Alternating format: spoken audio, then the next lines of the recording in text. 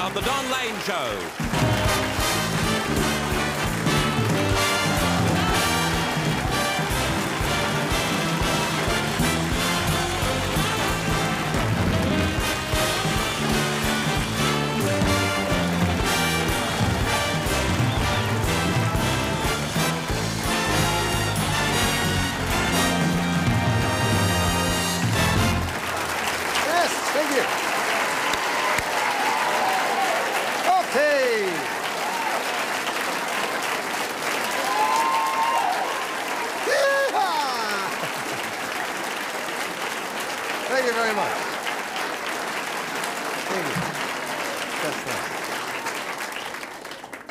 Thank you very, very much. Uh, it's a very nice greeting. And uh, we welcome you in the studio audience and we welcome you at home. in fact, I better, hi. Okay, nice stuff. okay, now, uh, as I stand here, uh, tonight's show is still being brought together. Uh, there are all sorts of things will be going on towards the end of the program we don't even know about yet. We're trying to connect a lot of things up. Uh, of course, uh, this is an effort to raise money for the victims of the destruction and personal tragedies caused by the devastating bushfires in uh, Victoria and in South Australia. Uh, many families are now homeless. Uh, the loss of lives uh, has yet to be fully calculated.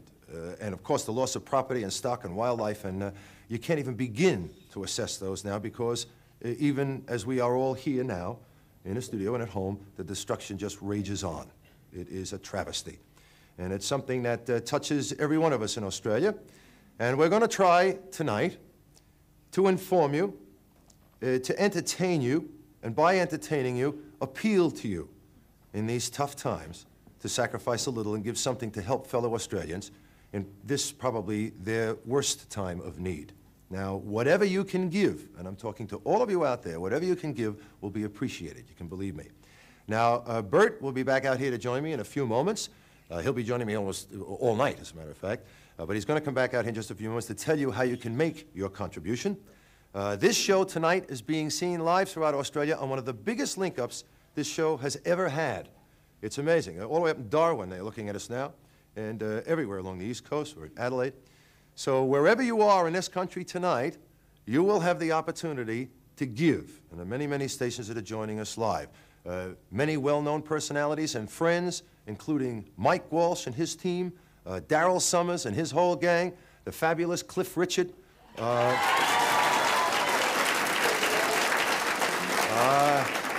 Yes, he will be here live, and he'll be singing his new single and things. That'll be good.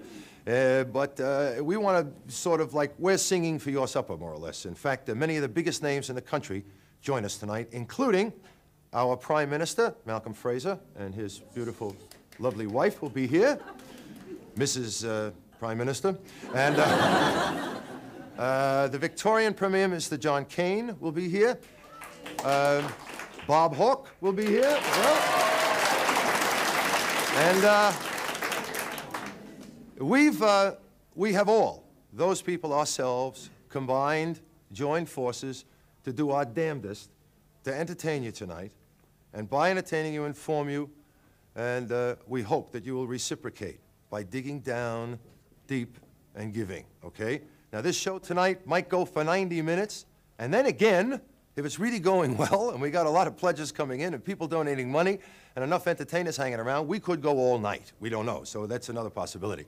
So we're going to get rolling now. There's a lot of program for you to see, a lot of stories for you to hear, and we hope a lot of contributions from you people out there. And who better to open the show than the leggy, glamorous, and talented Jackie Love, along with our ballet and her version of One Night Only. Let's go. We got it.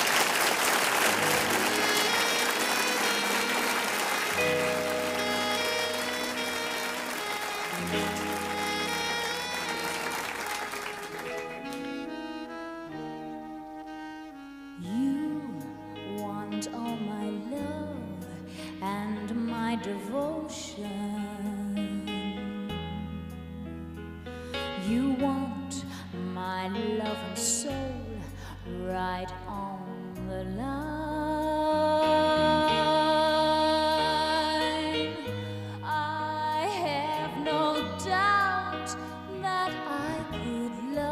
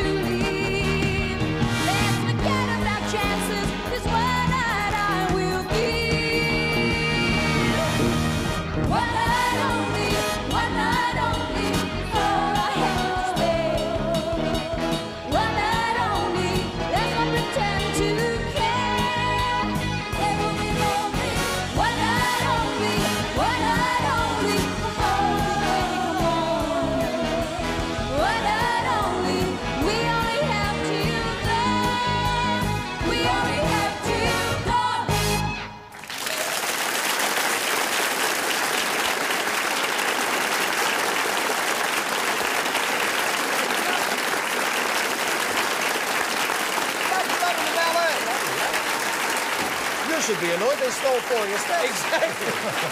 and some of the guys, too. Exactly right. Yes.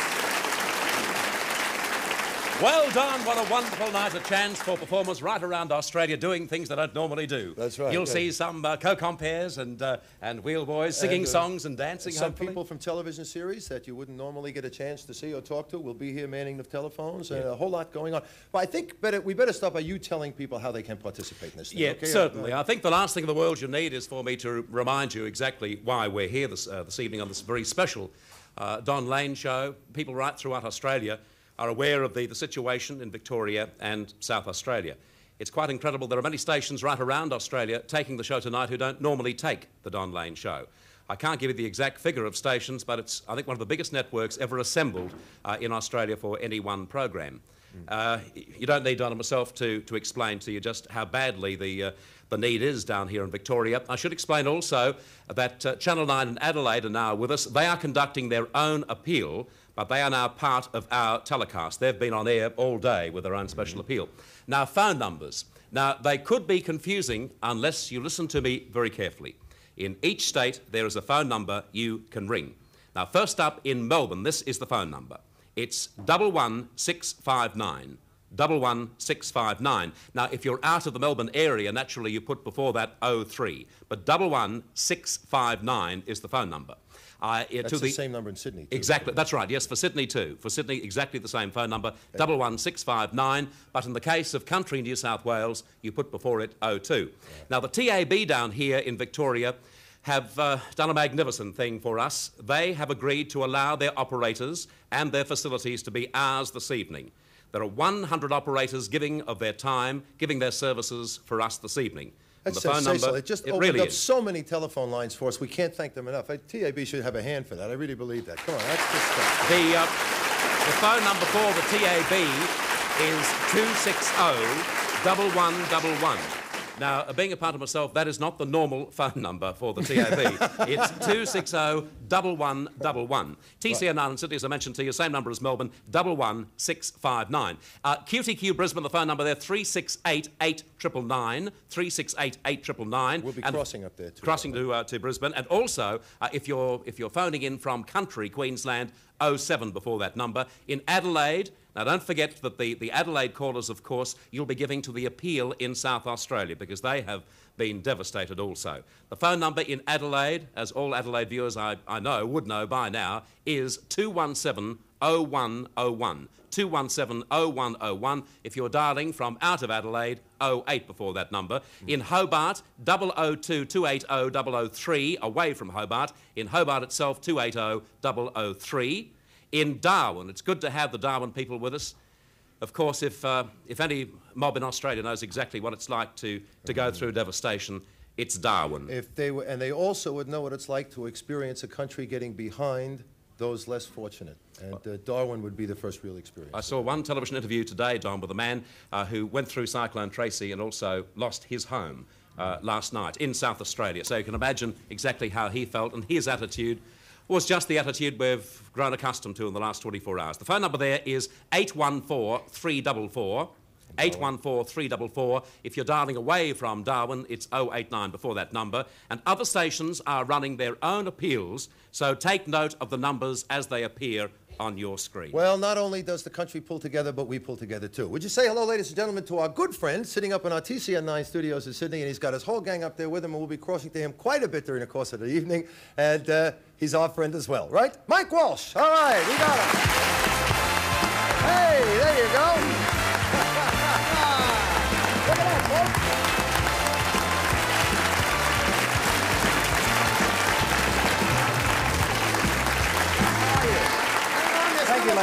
Mike. And Don and Bert, um, great to be able to join you on this occasion. And we just wanted to show you that all the Mike Walsh Show team, all the nine people here in Sydney, and all Sydney is way behind you in the effort to raise money for the bushfire victims. Mike, thank you very, very much for joining us. Gee, Geoff Harvey looks different there on your left. Yes, it's, uh, it's a pretty good job, isn't Oh, it? Oh, I'm sorry, it's Ginny. I'm sorry. I didn't mean to. Thank you, darling. There's a couple, couple of people I'd like to say hello to at uh, this early stage, Don, if you don't mind, because uh, they won't be around for long. I mean, tonight. uh, one is Colette Mann, who has a movie premiere up here tonight of uh, Kitty and the Bagman, right? Ginny Bagman, Yes, yeah. that's right. I was up here uh, just about to get to the very good part of my movie, and they said, Come here, we want you to do a telethon.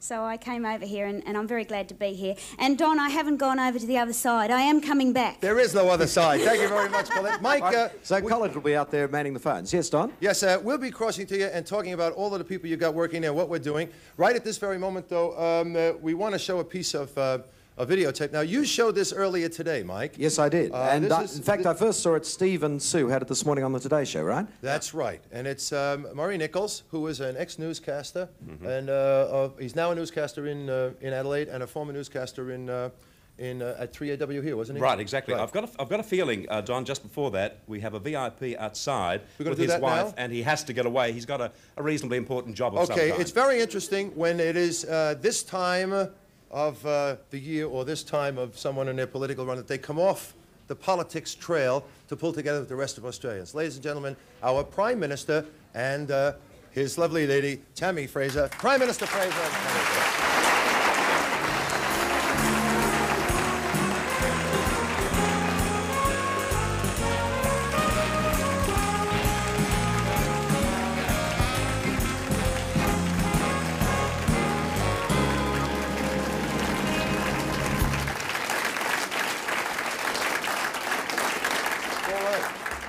Thank you uh, so much uh, for coming in. I'm sure this is going to mean a lot to all the people around Australia um, that you did take the time. Uh, I realize it's a very hectic period for you now, uh, for all of you concerned, I suppose. But uh, it is nice that you came in. Your feelings at this moment, I'd be very interested to know uh, how this struck you. Being a country person yourself, you know, and seeing those areas devastated, must be a, a real shock to you. Well, it's not only the, the country areas, because quite a lot of it's close to the cities, and it starts in the Adelaide Hills, and um, I haven't uh, got to the Dandenongs yet, but goes you know right through. Yes. And there are major fires uh, close to Adelaide, uh, around Mount Gambier, where they've still got great difficulty in the pine forests. Uh, it's still alight, and if it's hot tomorrow with the wind, it'll be away again. Then in my own electorate, there were seven people killed there. Um, Is this the worst uh, you've ever seen? it's, um, it's over a much bigger area. I mean, we've had very bad fires uh, close to Melbourne or in the Western District, but I think this is the first time you've had, uh, you know, literally nearly all of southern Australia at one time in the one day uh, with uh, a great many uh, people killed, a great many people injured, uh, thousands of stock lost, thousands, I don't know, we're told 2,000 houses uh, burned. We, we, we flew along in the helicopter on the southern coast around Anglesea and Lorne.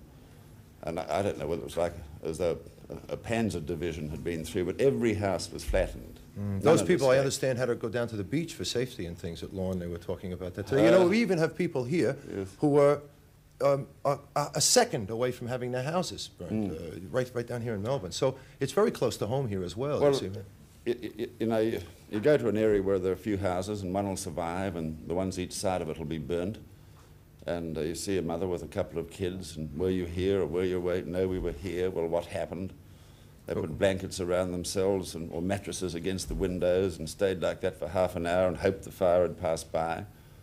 And uh, We have a lady coming on here in a, in a few moments that's going to tell us a story that would just absolutely astound Mm. you. She, she lost one child for an entire evening and thought the child had, well, she'll tell it when she comes out, told the child. Well- what will transpire now? How, will, how is the government going to react to something? What do you do now? Uh, what's Well, the first step? A number of things have already been done.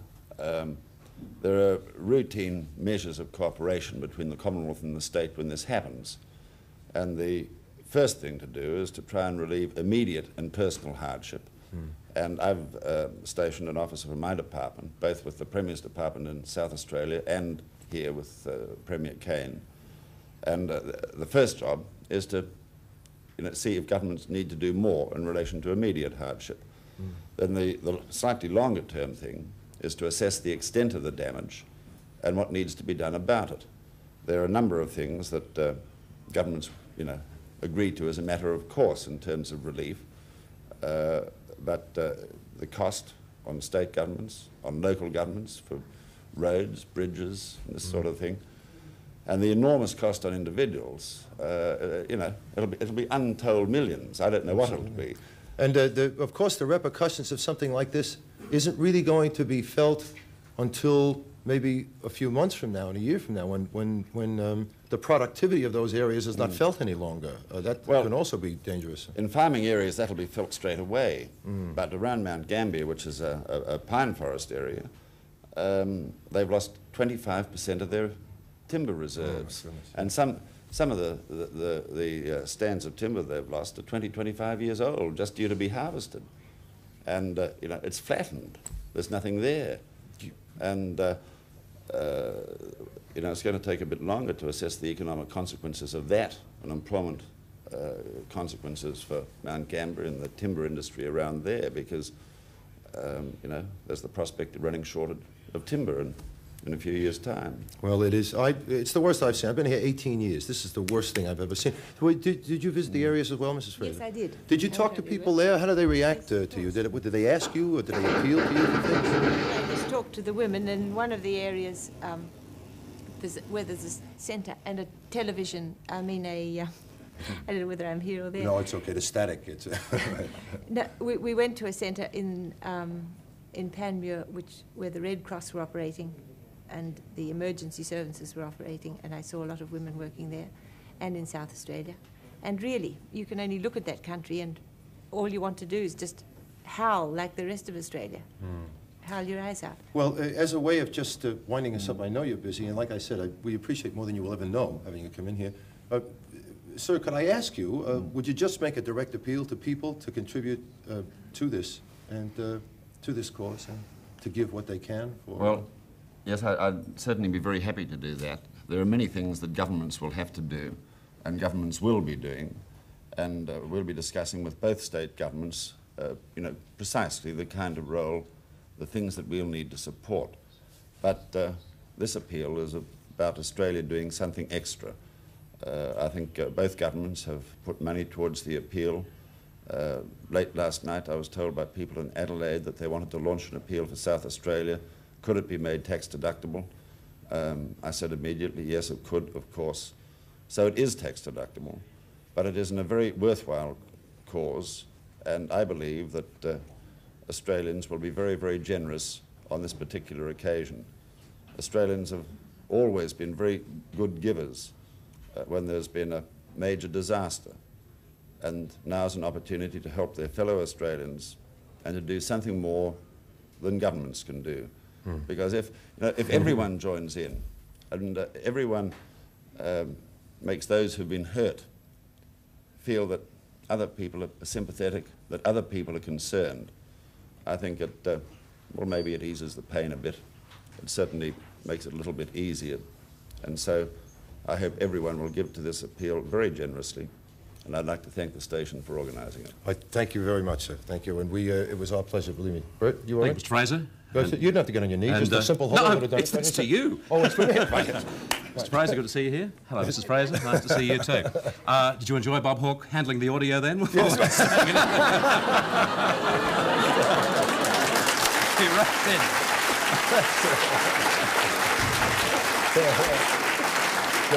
in election campaigns. Yeah, used to it, are you? Used to it in election campaigns, yes, right. Pulling the plug. Yes. Pulling the plug, it's called, yeah, for sure. Uh, we have a total here, Don. It's a 9.30 total. I think you'll be interested too, Mr Prime Minister. Uh, I know there is an updated one, but this is the one you can see visually. $234,762. That's as of 9.30 this evening. That doesn't include government. No, that's just Doesn't the include one government. With a-. With a, um, with a total like that, there's no telling where we can go. We are expecting big things out of this. To the both of you, our deepest and most sincere thanks, and I suppose on behalf of the people of Australia as well. Thank you very much, sir. Thank you very much.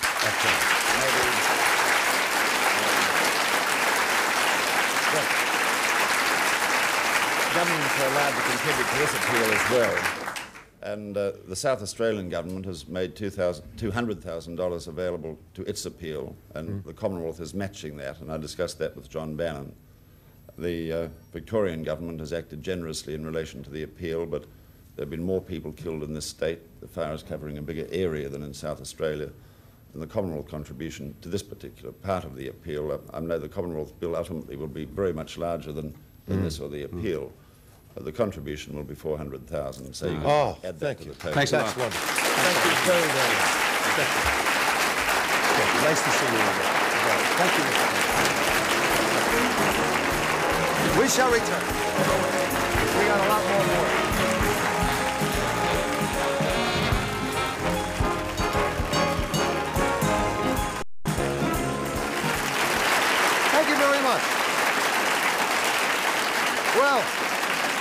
Thank you. Uh, uh, just a, a quick reminder, our telephone lines here at Melbourne, which is 11659 at GTV9 Melbourne, that's the number to call. Of course, if you're in a country as you put 03 in front of that. That number is jammed up now. So we would ask you, please, in Victoria, would you please call the TAB number? They have lots of lines and they can handle your call. It's 260 1111. 260 1111 if you're in a country area 03 in front of that. That's the TAB in Melbourne, and the tab operators are there working for us. 100 of them, 100 strong. Okay, back up to Mike Walsh. Mike? Don, we, uh, we're There all ready to go. We've got, pardon me, Studio One set up with phones, and everyone's going in there. And you, what time do you have to get to bed? I should have been in bed. You should have been in bed. What about you? Got to get up at three o'clock. Half past two tomorrow. Well, you, you can you can go 1st We're okay? excused. You, you're excused. Mike, and you everyone else will be you going have there too, Don. Oh, and that damn emu. I hope it does. There it is. It's a bit weird that emu. Hello, Rodol. Mike, listen, we want to show this piece of videotape we were alluding to earlier, which we uh, didn't go to. Uh, as I said, a lot of this program is going to have to be ad-libbed along the way because people are arriving at uh, different times. Uh, I'd like you to see this. This gentleman, is, his name is Murray Nichols. Uh, he's a journalist now at 5DN in Adelaide. He was a journalist down here in Victoria. And as a journalist, he was reporting on the destruction of his own house. Just have a look at this piece of videotape Mike showed earlier today. We are, we are in major strife.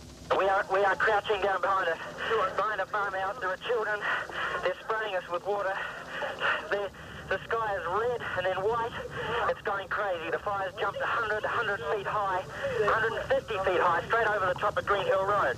There are something like 120 houses at risk up here. I don't know how many have gone. We are in deep trouble. We don't know, we can't see any houses. The Green Hill Road's just wiped out. Neil, at the moment, I'm watching my house burn down. I'm sitting out on the road in front of my own house where I've lived for 13 or 14 years, and it's, going down in front of me. The roof is falling in. It's in flames, and there's nothing I can do about it. Absolutely nothing. There's been a fire unit here from Summertown pumping water till we ran out, and, and the flames are in the roof, and, ah, God damn it, it's just beyond belief. I, my own house and uh, everything around it's black. there are fires burning all around me, all around me. And the front section of my house is blazing, the roof has fallen in, my water tanks are useless, there is absolutely nothing I can do about it.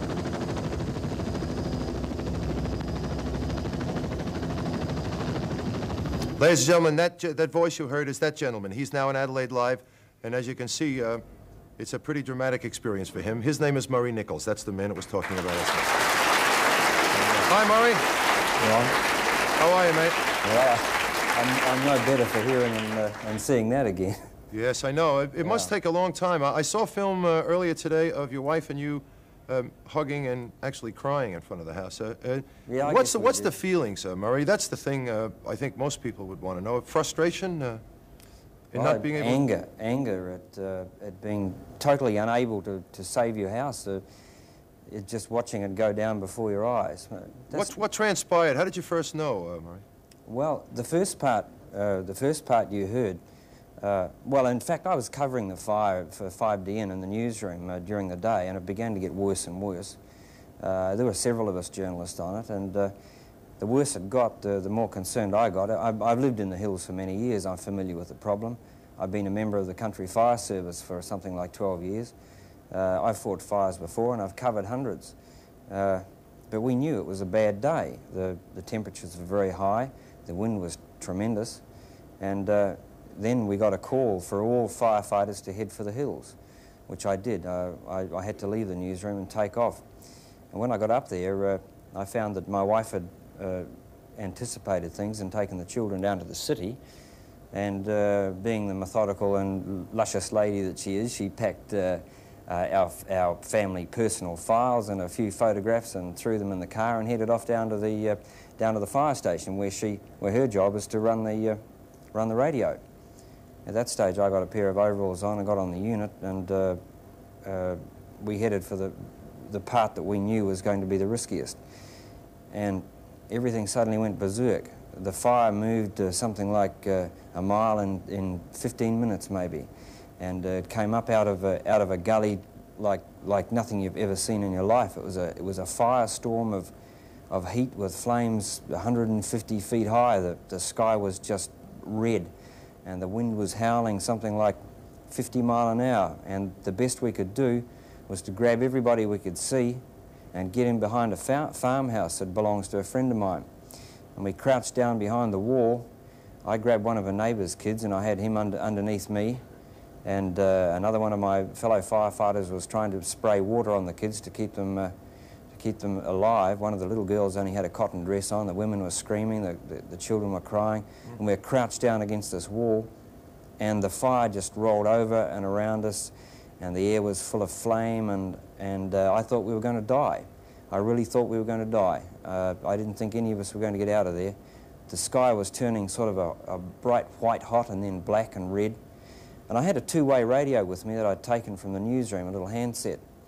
And I thought, well, by Christ, if I'm going to, if I'm going to go through this with these people, they're all friends of mine. I knew all these people.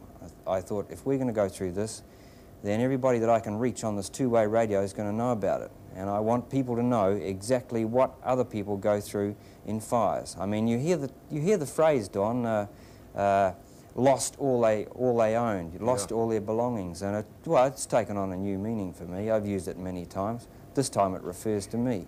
It's, uh, it's got it must be the worst feeling in the world to suddenly realize that really all you have is what's in the boot of the car and the clothes on your back, mate. You're looking at it. I got it? yeah, no, that's not true. Uh, uh, some gear we did save. Uh, I happen to have some skin diving gear in the boot of the car. That's a great help at the moment. Yes. it's terrific. Yeah. No, Well- we spent today down the supermarket stocking up on clothes. Uh, you know, we're like refugees. Jeepers. We've, Well- got, we've got good friends though, and they're looking after us. Well, this is the time when everybody pulled together. Murray, uh, our thoughts are with you, honestly. I mean, I've never really met you personally, uh, but uh, I'd been say the way you've it? handled all of this is, is nothing short of admirable, mate. I don't know if I would have been able to control myself as much. I thank you very much. All the best of luck, and I hope that um, you're able to at least rebuild your house to something of what it used I, to be. I thank you, Don, and I, I make the point that I'm only one. I mean, I mean, we're all alive. My wife and children are fine. We're not hurt. I'm not burnt. Uh, we've lost only property. We can rebuild. There are many, many thousands of people worse off than we are, and most of them are in your state, which is, uh, which is why I commend you for this appeal. And how much are you giving again, yourself, personally? Am I? Yeah. I'll keep that a secret, but I'll tell you what, on behalf of Bert and I, it'll be a nice chunk. Don't worry about it. It'll be all right. That's good. Okay, we're going to cross to your, uh, thank you very much. Uh, um, in the NWS 9 phone room in Adelaide, uh, Channel 9 newsreader Rob Kelvin is there waiting for us. He's with the South Australian Premier, Mr. John Bannon. I would like to meet John Bannon through Rob Kelvin. Would you say hello to Rob Kelvin in the NWS 9? Thank you very much, Don. Hello, Rob. How are you? We see the How are number you, up there, 2170101 locally, and thank you very much for all those people interstate. Uh, since the program's been on, have been ringing. We've had calls from Brisbane, from Sydney, from Melbourne. It's really great. The interstate response is, has been absolutely amazing, uh, Don, and uh, indeed the general response to this tragedy. And I think it's partly because of the way in which it's been brought home to people. They, they understand it because of the amazing communication through the media. Uh, and that's why we're getting the response and the feedback and, and the sympathy. How long have you people been going there today? Uh, 9.30. We started 9.30 this morning, and there's the number, Mr. Bannon. Yeah, we've You got, uh, we saw your total a little while back there, Don. We in South Australia reckon we've done a little better than that. Sure. 451,508. Oh, all right. Yes, okay? nice stuff. Good. Well, that's excellent. And uh, we, of course, um, we uh, what what is the uh, what's the first thing that you have to implement here uh, when you, when a disaster like this does hit your state? Uh, Well, number one, of course, uh, are the human beings involved. You've got to get in there, try and contain the fire, save lives. Number two, we're after property. We've got to try and ensure that uh, as, much as we can is, is saved, as much as we can is assessed, so that we know what the damage is and what's got to be repaired. I, I guess in the end, after a few days of handling that, uh, those human problems and those immediate needs, we settle down to the long-term rebuilding. And uh, my goodness, that's going to take a lot of doing. I mean, just in economic terms, uh, the Prime Minister early was referring to the forests. They have been devastated in South Australia. That's an asset built up over 30, 50 years. Can't be replaced in the short term. It's presented us with monumental problems. Uh, future economical problems as well, I suppose. That's for sure. Absolutely, Um, and, and I guess you know any disaster brings that mixture: the personal, immediate tragedies, uh, the problems to a whole range of people, and the longer-term problems that we as a community have to respond to. Well, Premier Bannon, we're going to be crossing back uh, to Rob Kelvin, and uh, we hopefully maybe yourself, and uh, talk to you some more later on in the evening. And of course, uh, we uh, promised here that we're going to stay on air as long as we can get money to keep coming in. Okay. Good luck with your appeal. Uh, there is a national appeal. This is the Victorian appeal here, the South Australian appeal there. They've taken the program. We hope we give you enough entertainment to encourage people to send in some more money. Thanks so much for joining us. And uh, uh, a hand, please, for Premier Bannon and uh, Rob Kelvin in Adelaide. Uh, we have uh, we have our own phone room uh, here at GTV9, and of course, uh, one of our favorite people running it. How about a hand for Daryl Somers in the GTV9 phone room? Thanks, John. All right. Thank you. Here we are in the in the phone room, and the phones are not ringing. So uh, the number is up there. It's double six. Uh, sorry, double one. No wonder they're not ringing. double double one six five nine, and we have most of uh, the nine personalities, plus a lot of uh, radio personalities. We've got. Well, who's uh, that? Who was that? Yeah, back there. We have. Uh, you noticed the hat? Did you on Molly? Molly's here at the back. Oh, is there. that Mel? Oh, hello, Mel. We've got Derryn and uh, Jackie, Derryn Hinch and uh, Jacki Weaver. Soon to be married, by the way. A round of applause for Derryn and Jackie.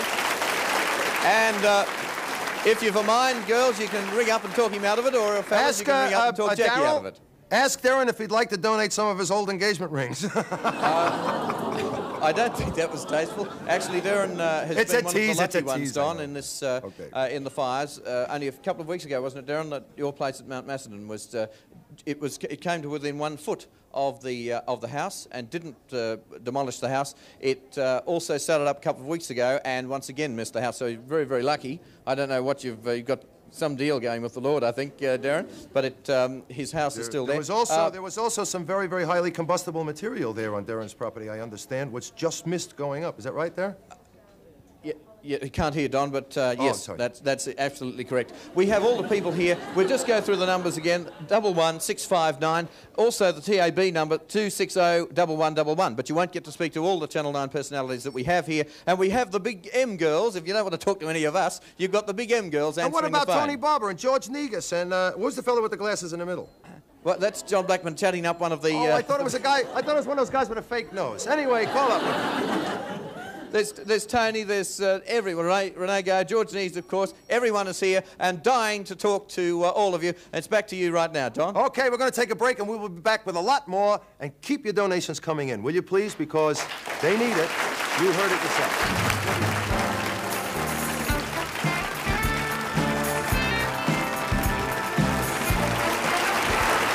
All right, thank you very much. And welcome back.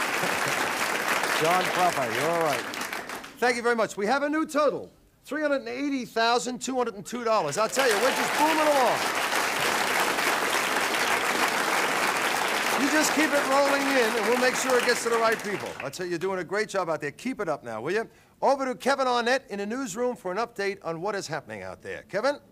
Good evening, Don. And here in the National Nine newsroom, as you can imagine, it's been an absolute flurry of activity for over 24 hours now. In fact, quite a few of the staff here haven't been to bed for 48 hours. It's been quite hectic. Now, one of those people who hasn't been to bed for 48 hours is Claudia Emery. Claudia, I believe you visited the Country Fire Authority headquarters just a little while ago. That's right, Kevin. In fact, the chief officer there said that in the CFA's 30 year history, they've never experienced uh, fires of such devastating proportions. It's quite extraordinary. What's the current situation with the fires now? Well, Kevin, at Warburton's, uh, fires are still causing concern and they're still going and still out of control. The CFA say they can't uh, envisage when they may have them under control.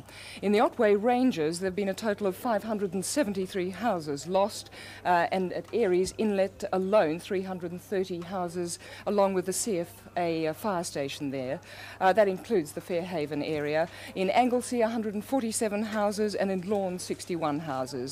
In the Cockatoo, uh, Gembrook area, the fires there have been virtually contained, although there are some spot fires still burning on the eastern flank. In fact, Kevin, uh, the CFA suspect that the fires there have been deliberately lit, and in fact, uh, 12 volunteer firemen lost their lives there.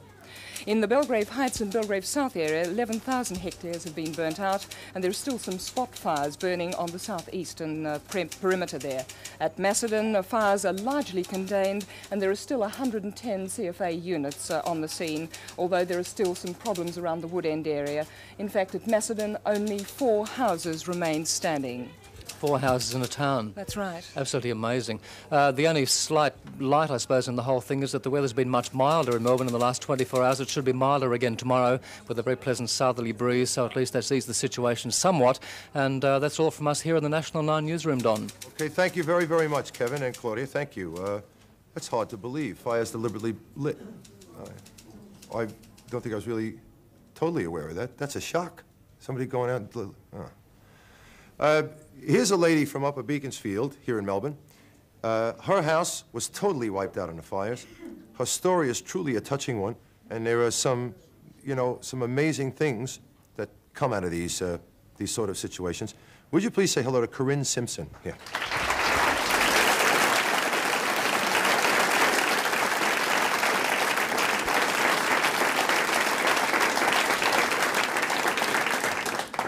Thank you very much. I'll hold on to your hand here. You, uh, I just, just managed to talk to you for a couple of seconds back there earlier. Uh, first of all, I think you should tell me the story here. Uh, Well, I had the house totally locked up, air conditioning on and the curtains closed, and was obliviously going about my work in the house with two babies, and one child was, or both the children were at school, one in um, prep, so all new and getting out earlier, and the temperature got over the 40, so a neighbour, how many children do you have? I'm sorry. four, sorry, all under six, Right. and the youngest is nine months. And your husband is away. He's overseas for four weeks, yes. And so I was all on my own, and um, a neighbour bought my went up to the school and brought the children home early because of the temperature rising. And she said, "I'll take the oldest one for a swim, and what about the youngest one?" And I said, "Well, he's going off to play tonight." And so um, the one had gone off to play, and the one that came home from swimming at 3:30, and the girl that brought him home said, "Just watch it. There's some smoke in the sky over the back." And I went out, and it was nothing, a little cloud of smoke. But I rang the CFA, and he said, "Can you see flames, dear?" And I went out the back, and they were just hundreds of feet into the air, and I just grabbed the children, um, put them in the car. They screamed because the hot buckles on the car seats, and we just grabbed a few photo albums that were always kept near the door for that reason, and ran in what we were in. The thongs I'm in now, the jeans and a shirt which is gone, and a friend's lent me this one. Um, and I just drove out and I thought I'll go to a friend's and organise my little one that's at play. And I couldn't get to him. So on the way back, I tried to get out to the highway to get to my mother in law's. 10 minutes and I couldn't move. There was just a wall of flame all around me. So I was sent back to a house where I knew there was a swimming pool and we sheltered there. And from that time on, 4 o'clock yesterday afternoon till 9 o'clock this morning, I didn't think I had a second son. We had no contact, and where I knew he was and where he was evacuated to, a petrol station blew up opposite, Oh. and I was sure he couldn't have got out of it. It was like an atomic bomb. It was like being in the furnace of a coal, in a coal furnace, what you see on television. And um, we were lucky in the basement of a house that we just flooded. We turned the shower rosettes on and we just splashed water everywhere. And the fire burnt around us until about 10 pm and we tried to evacuate 10 pm last night by car. And suddenly the flames were all around us. There was cars going which way and what way and no one knew where to go. The police at this stage told passersby to stop in your car now, turn your windows up and just sit. And the flames were not like you see it on the news reports where they're just floating along the ground. They were just huge infernos. Walls so we turned around Mm. and went, I said to my friend that was driving the car, just get around, we'll get back to your showers. I'd rather go cold under a shower than sitting in a hot, hot box of a car. So we got back to the house and we stayed there and fortunately everything went up. The whole town is totally wiped out. Upper Beaconsfield, Victoria doesn't exist anymore. There's not a school, there was two kindergartens, the general store, the petrol station, just everything's totally gone. And um, I knew my house would have gone about five o'clock because we're down in a valley where there's just bracken and it's only one way out. And what about the final child? How did you finally find him? Well, um, after three evacuation attempts from three different places, I got out at two or three this morning, and we had to actually leave the house because we were the last to look like going up. Uh-huh. And we actually drove through areas that were burnt, and the trees were still burning, and we fortunately got through. And once we hit the highway and we were well away, um, I rang for some friends to come and get me, and I went home with them, and we just sat by the phone, ringing police, state emergency. No one could help us, and we could understand that because nobody knew what was going on. It was just so large and so immense. No one knew where anyone else was. These fire crews, they were waiting for trucks to come in down at the Oval, for relief crews to go in, but the trucks didn't come back. That's how we knew That you were those in- 12 yeah. men who died just around the corner from my place. Well, of course, the Salvation Army, I understand, helped you out with clothing and things. Yes, uh, well, I was desperate. By the time I got um, out, we'd drowned ourselves in water to get through the fire, and the children were being chilled because the temperature dropped, and we were down to the children had literally nothing on, and a lady at a house we finally got to cut a sheet off her bed to make nappies, and we put those on the children, and um, I had to ring the Salvation Mm. Army at 2 a.m. and they came out. They sent a man out this morning. well, uh, uh, your husband knows about that. I understand Qantas are flying your husband back, are they? Um, the, yes, they're, Yeah. they're, they're going out of their way to give him first class treatment and uh, access to telephones at every port of call so that he can stay in touch. But the whole family is together now. Now we are. But you yes. don't have anything except the clothes on your back. I have. This is borrowed. I have nothing. Corinne, I, I can only wish you good luck, and I can only hope that what we do here helps a lot of people like yourself. And uh, Congratulations on a wonderful appeal. And you- we're doing, listen, what we're doing is easy. What you people went through is unbelievable. Thank you very, very much, okay? Thank you for having Corinne. Simpson, everybody. We'll be back after this break. We'll be crossing up the TCN and Adelaide, and we have some more entertainment.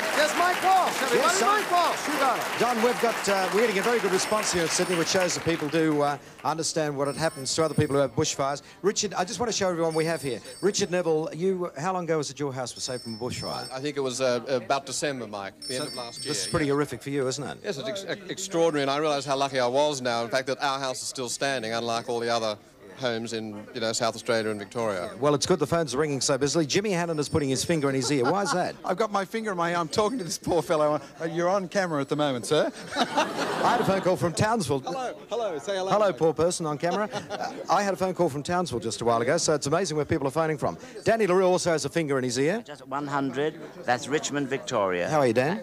Thank you for your donation. God bless you. I'm, hello, I'm delighted to be here. delighted to help out. I'm just taking money. It's all right. hey. And Paul Hogan. All right, Mick, I'm sort of shouting myself hoarse here because it's so bloody noisy in here. though. Yeah. You're giving each way bets or just straight out on Just this? Just straight out. Just straight out, okay, right. And here is Delvene Delaney. Richmond, Victoria. Okay. Everyone says Richmond, Victoria. They must know where you are, Don. And uh, here we have, I've got to sort of get to see the faces. That's Pam. Hello, Mike. How are you, Pam? Pam Weston from Waterloo Station. How's it going? Oh, it's fine. I've got a lady who's a pensioner and she's gone to get a pencil to write the address down. Fine, okay. John Michael Howson loves being on the phone. I love being on the phone. I tell you what, I just ask people if they can speak clearly because I can't hear a lot of people, so I've got to scream. They must think I'm a bit mental. They told you if you kept doing that, you'd go deaf. and this is Rod Hull and that unfortunate. Uh, uh, uh, Rod Hull, how are you? How are you, mate? I'm fine, thank you very much. All right. And, and Jana Wendt, how are you, Jana? Oh, hello, Mike. I'm very well indeed. How are you? Take many calls? Oh, there's a lady here who doesn't know what's going on. I've taken lots and lots of calls, actually, and very generous donations. It's terrific, the response, isn't it? And who have we got here? Karen Pini. How are you, Karen? Hang on a minute. You're talking to Mr. Fu. Yes, I am talking to Mr. Fu. That's the shortest name we've had all night. Okay, we'd love them to keep the phones coming in Sydney. As you can see, everyone's here to take your calls. Double one six five nine. Don, back to you in Melbourne. Thank you very much, Mike, and uh, a superb job up there. How about that? All those people turning out for the victims of this uh, travesty. Thanks, Mike. Okay, uh, Cliff Richard is here on his sixth tour of Australia. Uh, six times over here, and believe it or not, this is his biggest tour yet. He's going to be doing 17 shows here. Four concerts in Melbourne, the 18th to the 21st of February, the 23rd and the 24th in Canberra, the 26th and the 27th in Brisbane. He's in Sydney, March 1st to March 3rd, Adelaide, March 7th, 8th, and 9th, and in Perth, March 12th and 13th. Tonight, he's here with us. He flew on this plane all night to get here. He's arrived here now. This is his latest single. He hasn't had one minute's sleep, but he said there was no way he was going to miss this. The song is True Love Ways. Here is. Cliff Richard,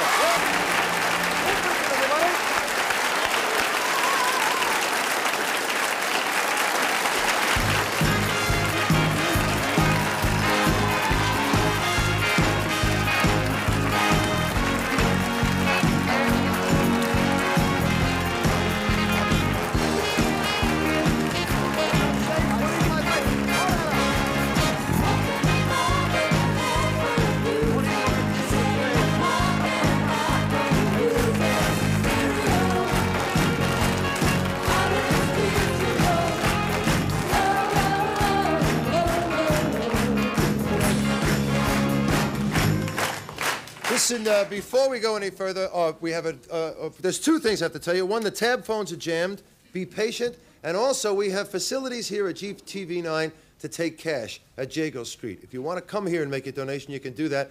The tab phones are jammed. TAB. Please be patient. We have a new total. We've cracked the half a million mark. Okay? It's five hundred four thousand six hundred and forty-five dollars. Not too bad. Cliff, uh, we have a little announcement here, which, uh, you know, you're a pretty fast worker, kid. You What? get off the plane, remind and you're here 10 minutes, and then you try to construct something and do something, which only goes to show that the stuff that you believe in is really the truth. Uh, after uh, Cliff Richard is having a special concert at the Apollo Theater, Sunday, the 6th of March, the total proceeds from that concert, the 6th of March at the Apollo Center in Adelaide, is going to go to the Channel 9 Bushfire Fund. That's this stuff. man. It's good. Now, you just, uh, you just came here from uh, Manila, they tell me. Yeah, that's right. I thought you were supposed to tell them that after I'd gone. Oh, it's all right. I want to see you look embarrassed. No, get embarrassed. It's okay. You're allowed to get embarrassed when you're going to donate that kind of money. I'll tell you. It's okay. Is that leather or what is it?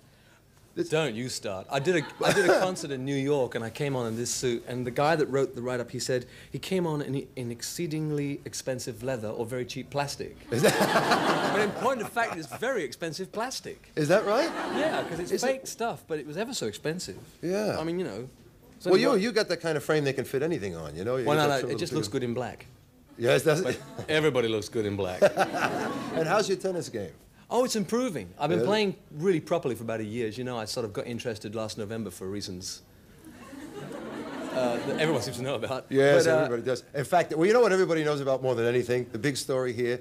was that you got yelled at by Chris Evert Lloyd because you were you were barracking for Sue I- Barker at the stadium and you yelled things out. Chris that- Evert is too cool to yell at anybody from the court. This is you wonderful. I Oh her yeah. anyway. I mean, it was the Wightman Cup, and uh, as I went afterwards, and just in case she was upset, I did apologise and said, you know, but I've got to tell you this: I didn't come to Wightman Cup to cheer for the Americans. I came to scream for the British. You know. Yeah. I mean, we lost, but I, you know, I lost my throat. What did you say that they complained about? I mean, were you just, no, just nothing cheering? I mean, how could you hear one voice above 7,000 people? The, the Albert Hall was jammed with people, and we were all hysterical. And in fact, our girls played really well. It's just that the Americans have that way of hanging in there, you know? Yeah. There were four times when we could have won matches, and it, somehow they hang in there and finally clinch it. Mm. And our girls were playing really well. And I've never felt so liberated, because usually you're, when you're in the public eye, you sort of can't sort of go, Come on, Sue. you know, you can't do it. But I was in Not a only that, if she heard you do that, you'd probably be in a lot of trouble as well. You wouldn't know. But I was in a box, you know. and Yeah. It was a it was a birthday present. The box was a birthday present for three nights, and uh, and I felt kind of liberated. I felt I could really shout, and I shouted and screamed. I mean, I hope it did upset the Americans. Come sit over here. We'll keep talking. We'll, keep, we'll talk to you some more while you sit over here while you get this ready. Listen, uh, the other thing I wanted to talk to you about was that, uh, besides your bad tennis game, uh, it's pretty bad at the moment, but I'm trying to improve. what is this I hear about the concert that um, uh, the first half of the concert is totally different than the second half of your concert? Is that right? Uh, the second half is a whole 50s, 60s thing. Yeah, well, um, because we were here only last year, I thought we must try to do something really different, and uh, it does get you know really difficult if you've come within a year. You haven't even got a new album. Although, wait a minute, have I got a new album? Yeah, I've got a new album. Yeah, 25 years of golden hits 25 something. years of gold, and I think Now You See Me, which is uh, the sort of studio album. And, uh, but the, the thing is, I'm still doing material that I did last year, but we thought if we did the second half, nothing but nostalgic rock and roll. Ah. Nothing, that, n- nothing on the stage will be less than 20 years old. And you dress, and you And dress just the musicians. And you dress, and you're me. dressing in the 50s and 60s clothes. They yeah, tell me we too. get all, the boys all get up, dressed up in zoot suits, and uh, You're going to do a song now, but before you do it, I just noticed something. Does that open up with secret potions or something? in no, it? no, it doesn't. I, I just found out that I, Opal. Well, I didn't find out that I liked Opal. I li- I've always liked Opal, but I found out it was my birthstone. Is And, it? Uh, yeah, it's really weird because I'm not into all that sort of thing, but uh, it really amazed me that the stone that I really thought was terrific was my birthstone. What's the song you're doing now? Oh well, uh, I'm not quite sure whether I'll be doing this, but this is, I'll be doing two or three of these old ones Mhm. uh, during the course of the concert. And I thought I'd do some holiday or something, take the people's minds It's off. okay, the- me. You want to hear another song Cliff Richard, don't you?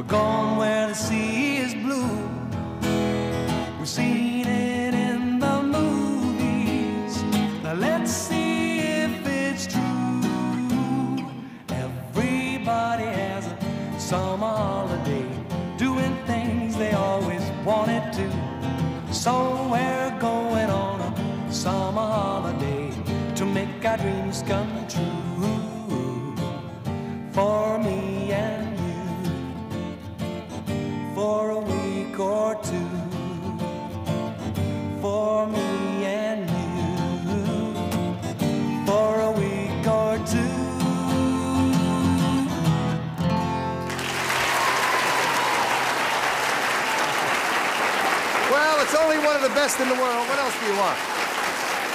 Thank you. Thank you. Would you do me a favor, just a quick little 20-second appeal to people to send in something if they're your fans or something that might be nice? Of course it would. Yeah, hold it just one second. Just one minute, if you Yeah, wouldn't mind, Cliff. Of it course, if coming from you would have mean something. I'd love you know? to uh, add my voice to the appeals that are being made. I've been involved in quite a few charities, and one of the things that really hits me hard is that people say it's just a drop in the bucket. Your Prime Minister said there's, you know, countless millions lost, and we might feel intimidated by the fact that it's a large amount people have to collect. But the bucket has to be dampened, and it's made up of tiny little drops. so if you feel it's too small, send it anyway. You're a great bloke, mate, and thanks for coming in. I Thank really you. Stay here and let him have a look. Okay?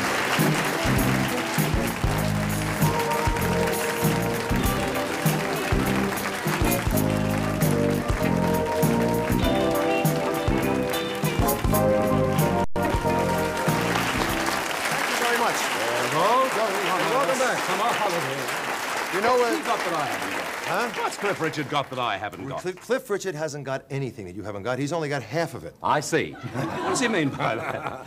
This gentleman, uh, I will leave the introduction for him uh, up to you. You being, uh, I would say, the number one Victorian, would probably be quite happy to introduce him.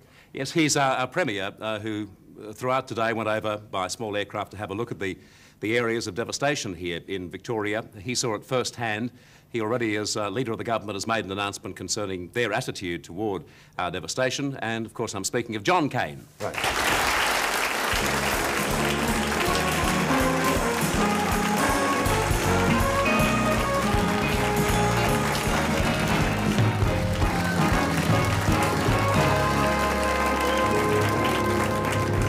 I've never had the pleasure. I don't meet all the biggies like you do. I don't is- get to meet this them. is How John are? Lane, John. Good to meet you, John. a pleasure. Good to be here. Oh, this has got to be an, an absolute shock for you, having something like this just hit you right between the eyes. Uh, Yes, well, we knew the situation was bad, a bad, dry summer, uh, but uh, nothing as bad as this did we expect. It's, uh, Mm. it's the most devastating series of fires I think we've had uh, in our history. Mm, What are your first thoughts when you hear about something like this? I mean, when, when you know that it starts saying, I'm sure your intuition must have told you this could be bad or could move on Well, to it grew in severity last night. Uh, by early this morning, it was apparent it was very bad. Mm. And uh, I went out, uh, or about seven this morning, and for the next three and a half or four hours, uh, I travelled through the hills, uh, partly. How do you- how do you travel through there By like that? helicopter, and we Oh. came down at Cockatoo. Uh, we then went out to uh, down to Lorne. Uh, They tell me Cockatoo's totally wiped out, is that right? Nothing at Cockatoo. It's uh, it's gone. Upper Beaconsfield, uh, 80% devastated, and uh, Aireys Inlet's the same. Nothing there at all. Uh, four or five houses remaining. Mm. Anglesea, the skirts uh, mainly. Uh, but people are just stunned, and uh, I think we all were when we saw the extent of it. First thoughts as to uh, the help that can, can be given to those people uh, who are without homes. We've got that in hand now, I think. We've got uh, provision for uh, uh, immediate accommodation for the relief that's needed at once. Do you have any numbers at hand? I mean, just uh, figures of like people, uh, um, how many people are homeless, how many homes have been destroyed? Are those kind of figures The delivered figure to we're giving given is up, up 2,000 homes. 2,000 homes? 2,000 homes. Possibly more, John. Mhm. Oh. And uh, the last uh, figure of uh, fatalities, some 43 dead. And there's some, I think, 300,000 hectares of land have been, uh, have been devastated. John, could you just, for our interstate viewers, explain what you as a government have done so far? Well, we've uh, put in train the well-rehearsed disaster plan that's there.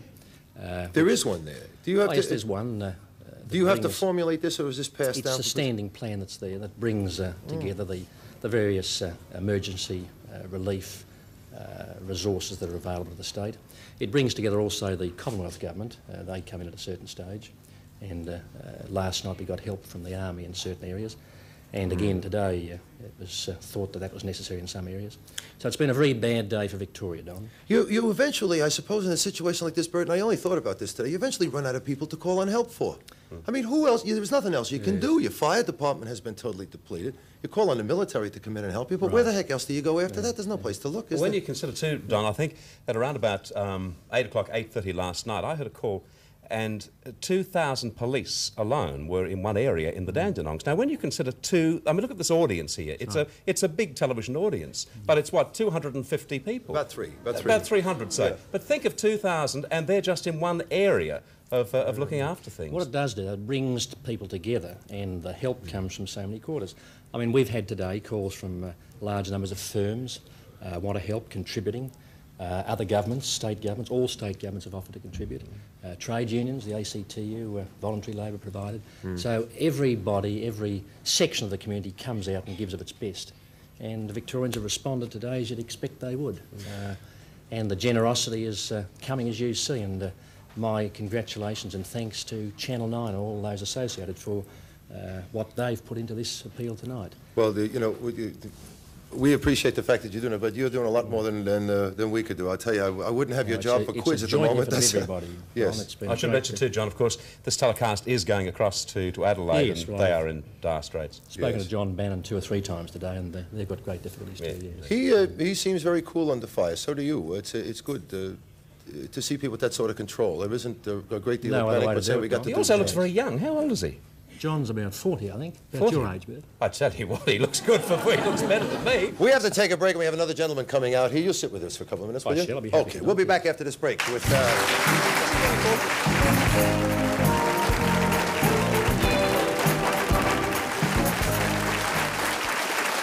I've got a total for you, which is going to please you.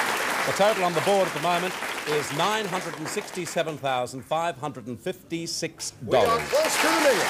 Very close to a million. I should mention that includes the $400,000 announced this evening by the Prime Minister, and also Launceston have done a magnificent job. Launceston and Tassie have raised for us $102,000. How's that? Like what I said- Second guess? Well, uh, um, I, I suppose everybody would know this fellow, wouldn't they? Uh, I've got a feeling, yes, if you, just in case you can't place him, the last time he was with Don, uh, he conducted an orchestra. That's right, His name happens to be Bob Hawke. Right.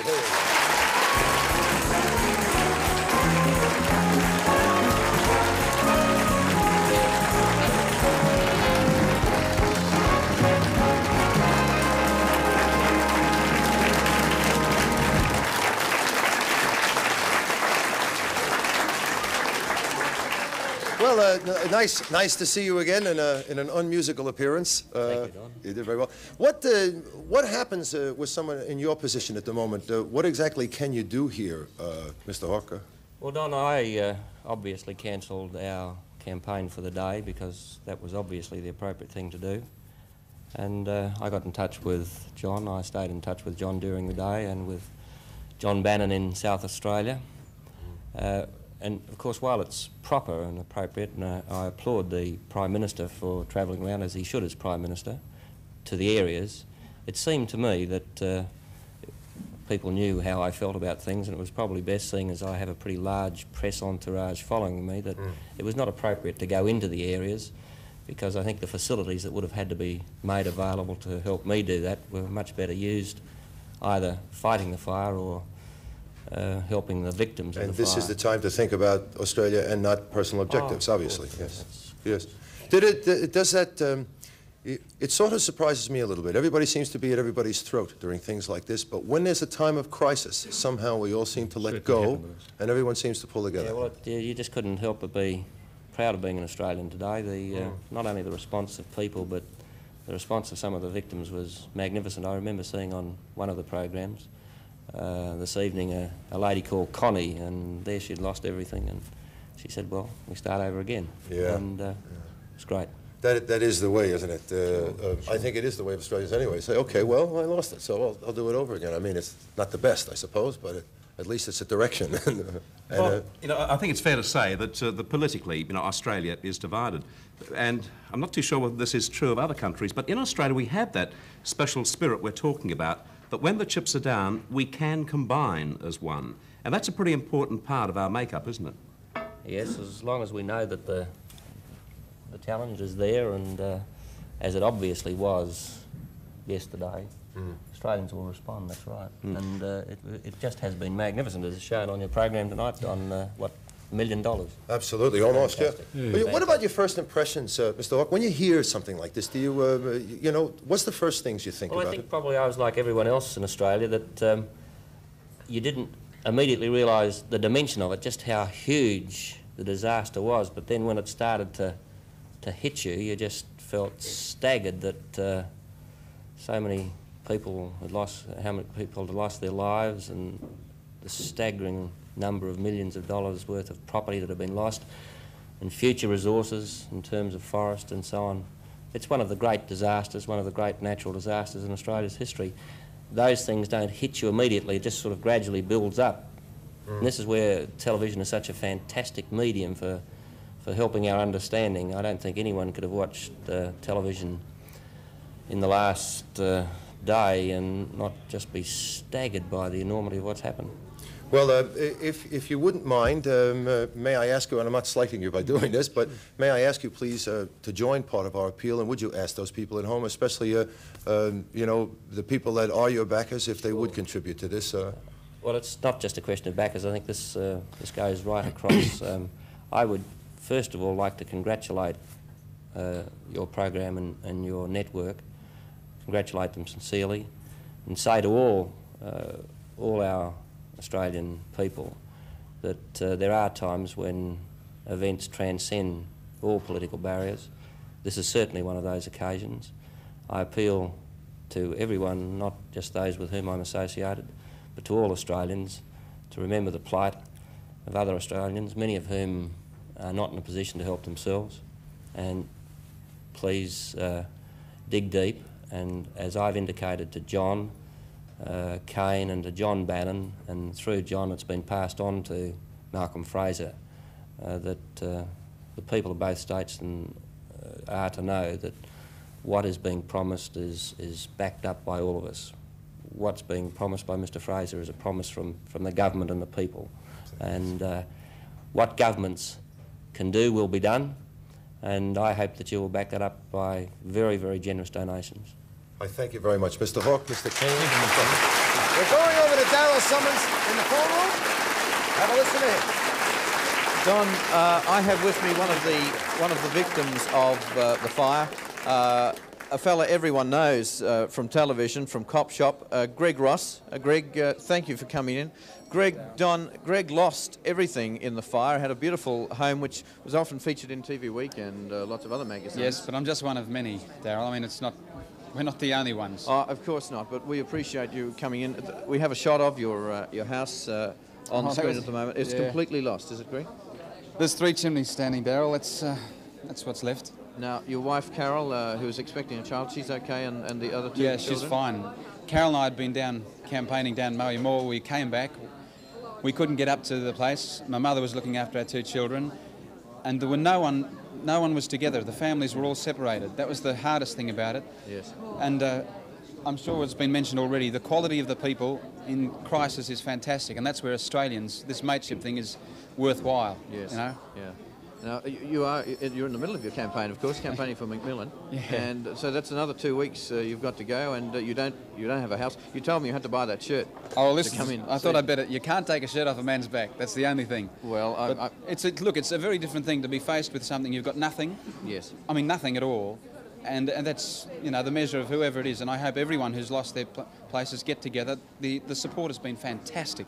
Well, we, we can only thank you. We honestly thank you for coming. You've got an early start in the morning. Yep. Uh, with filming. Well, I'm just asking people to give as much as they can. Uh, that isn't for us. I'm in a fortunate position to have a very good employer and a good job. But for many people can't afford it. And look, the devastation is unbelievable. I, well, it's just not worth. Uh, you know, I know. talk- Well, we, we have uh, we've, at the moment, Greg. We've got lots of personalities answering the phones. If you'd like to ring the number, it's double one six five nine, and you can speak to any of the Channel Nine personalities. Uh, Greg, you'll have to race off, obviously. Yeah, thanks, Daryl. Uh, thank you for coming in and adding your support to the appeal. And there's um, well, there's a personal experience, Don, that um, that I think touches everybody. And uh, good luck for the future, Greg, and also your campaign too. He's a heck of a guy to come in here too, Daryl. I'll tell you that. That's great stuff. Thank you very much. We're taking a commercial break. When we come back, there will be a lot of surprises, especially to me, because I don't know what's happening next. We'll be back. Don't you go away.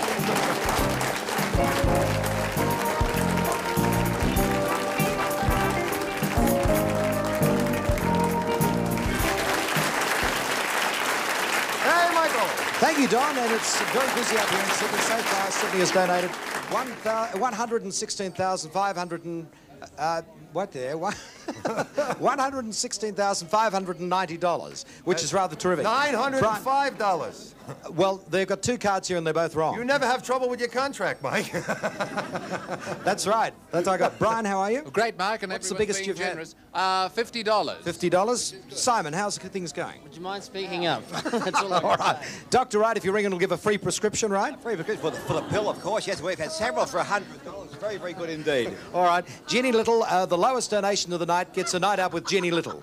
Darling, and I promise I'll give you a good time if you donate a big amount. Right. And this is Danny Roberts, one of the people from Waterloo Station. How are you enjoying all this? That's really great. Good. Big ones coming in? Oh, yeah, we just got one for $110 here. That's very good. And right here we have Jenny Byrne from Sunday. How's it going, Jen? Um, It's going. Hang on a minute. It's going fine. Right.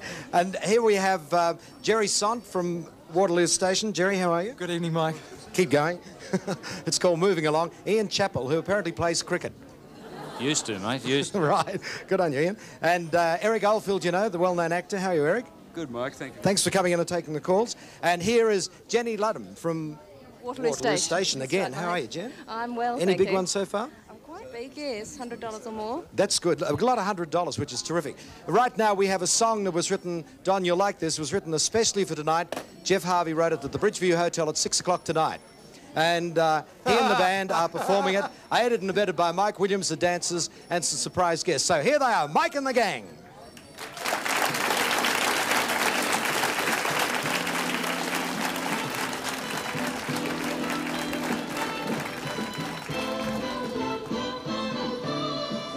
Wanna be in great company, come on to join our family. Come on along, the place where you belong. Strike up the band, they're playing your song.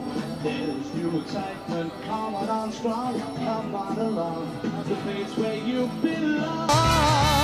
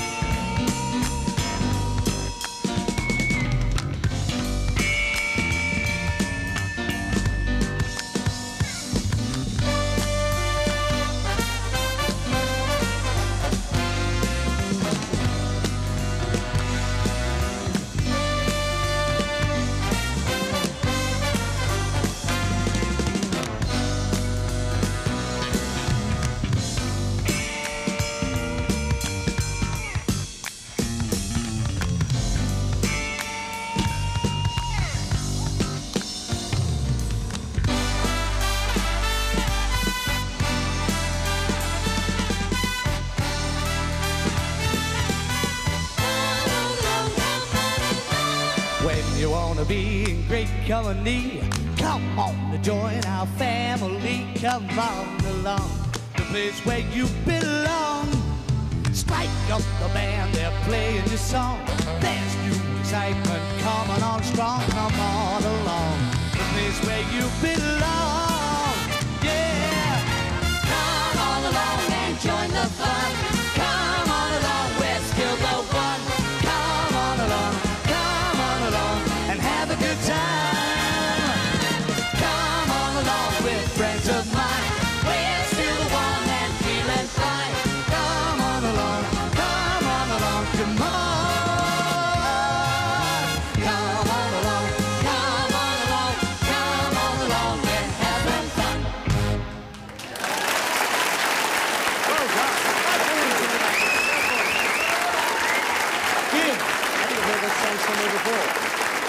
Have two. Maybe it's a Channel 9 theme. By golly, that's rather. Say no more. Don, back to you in Melbourne. Thank you very much. That's uh, the two mics there. Mike Walsh, Mike Williamson, and a great job from the Channel 9 people.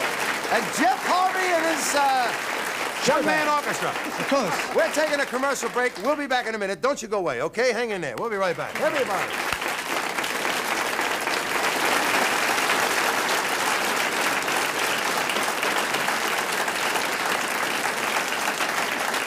Very much. Welcome back. Uh, I know they're listening to us up there. Mike Walsh, Mike Williamson, Geoff Harvey, all the people up there at TCN, thank you. It's far more than what we expected uh, on such short notice. Uh, just great stuff. Thank you. Uh, our floor managers, our cameramen have given 200 bucks to the appeal. Guys, I thank you. You're just perfect. Nice. Excuse me. Oh, we'd like to hear from the band. Uh, uh, a little past the hat time, you know what I mean? Only don't anybody smoke the hat. Okay. Um, the girls manning the phones at the TAB Exchange um, on 260-1111 are working overtime tonight, and they're donating all their wages for tonight to the bushfire appeal. All the girls working the phone. How's this? Tell us we don't live in an age where it reaches everywhere. New Zealand has opened a national appeal for Australia, for over here, for Victoria, South Australia. Uh, the Red Cross is taking donations of goods, clothes, and food, etc. And my favorite outfit, uh, the Salvation Army, will take donations of goods, food, cash, and etc. at all their centers. The main one down here in Victoria is 69 Bourke Street, but any depot will take donations, and there are vehicles running which will pick up the goods. If you got something, call the Salvos. They're always there when you need them, I'll tell you. And last but not least, I mean, this is an out-and-out plug. I shouldn't even be doing it, but I just, these guys are always around when you need them. McDonald's Victorian Restaurant Owners and McDonald's Corporation have sent us a check for $5,000. And all their family restaurants near the bushfires, still burning, have been providing food and drink to the firefighters and victims, as well as collecting clothes, food, blankets, and cash, and so forth. Okay? Great stuff. I don't know what our total's going to be when we come back. We're going away. We have to go, we're going for, the news department's going to give you a, a, a, complete and total update, 30 minutes of news. When we come back, we got a lot of entertainment. I think Daryl's singing, I'm singing, uh, the band's playing. We're going to have a battle of the two bands. We'll be crossing the TCN. We'll be crossing the Adelaide. There's a lot more entertainment for you. Like I said, we might finish up and have breakfast together tomorrow. Who knows, okay? Anyway, we'll be back after the news and give everybody the opportunity to put in your donations. Thank you for joining us now. Don't go away.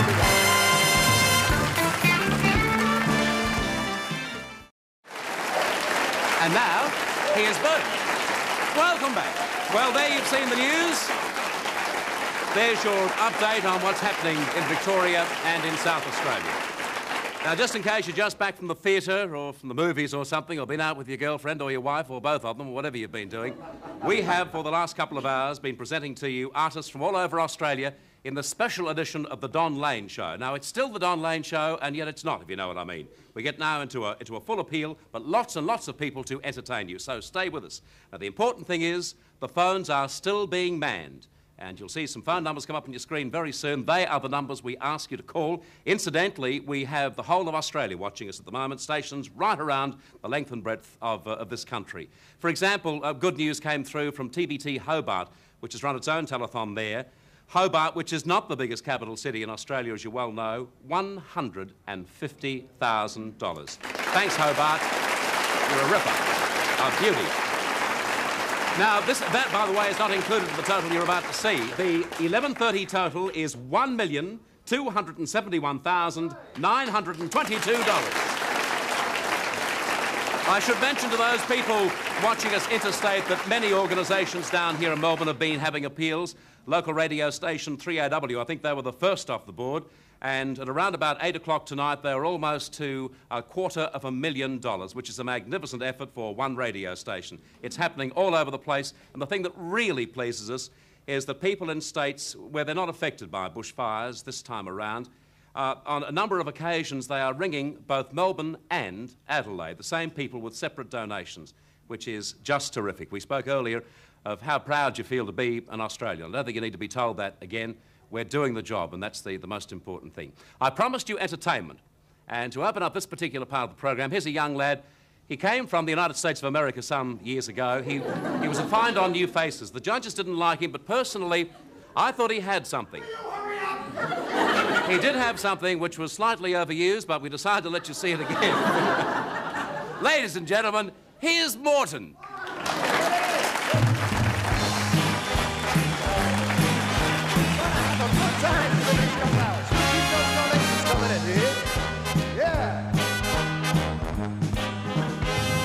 Just say hello to a brand new world, the world outside your door. Just say hello to a singing bird like no bird you've heard before. It's all there. Go and grab your share. Hey, life is a great big show, so go and introduce yourself. Say hello, say hello, say to a brand new man who's just begun to live.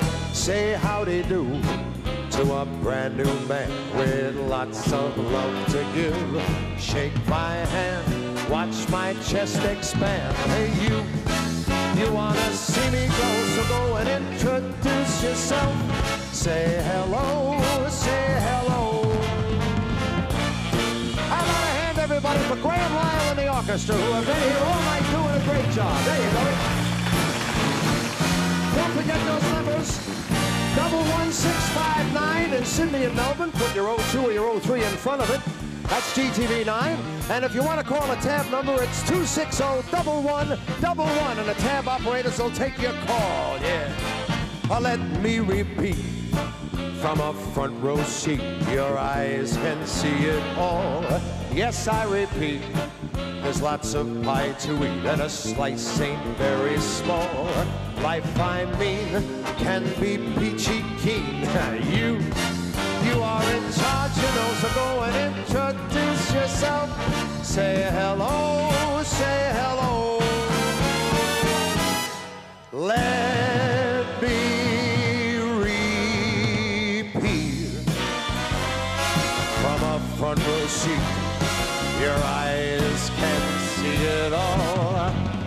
Yes, I repeat.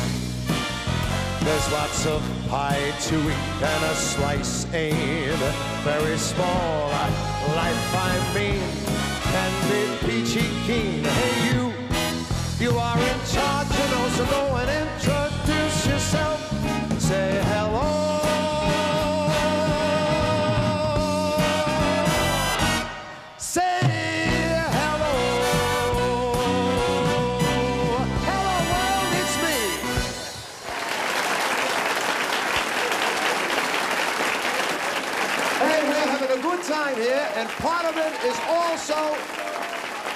you'll send in your donation. more, more. What was your name again? I know you. Thank you very much, everybody. Thank you. We've, uh, okay. Okay. Hey, Philip Brady never stops clapping up there, does he? Just keeps it going. Thank you very much, everybody. There's a whole bunch of people that we have backstage that uh, have been contributing their time. They've come here to put in an appearance and to, uh, to give us their efforts to help you people at home send in some more money for us. Uh, uh, we cracked the one million mark. I don't think we even thought we would get close to that. I am just thrilled out of my brain, I'll tell you.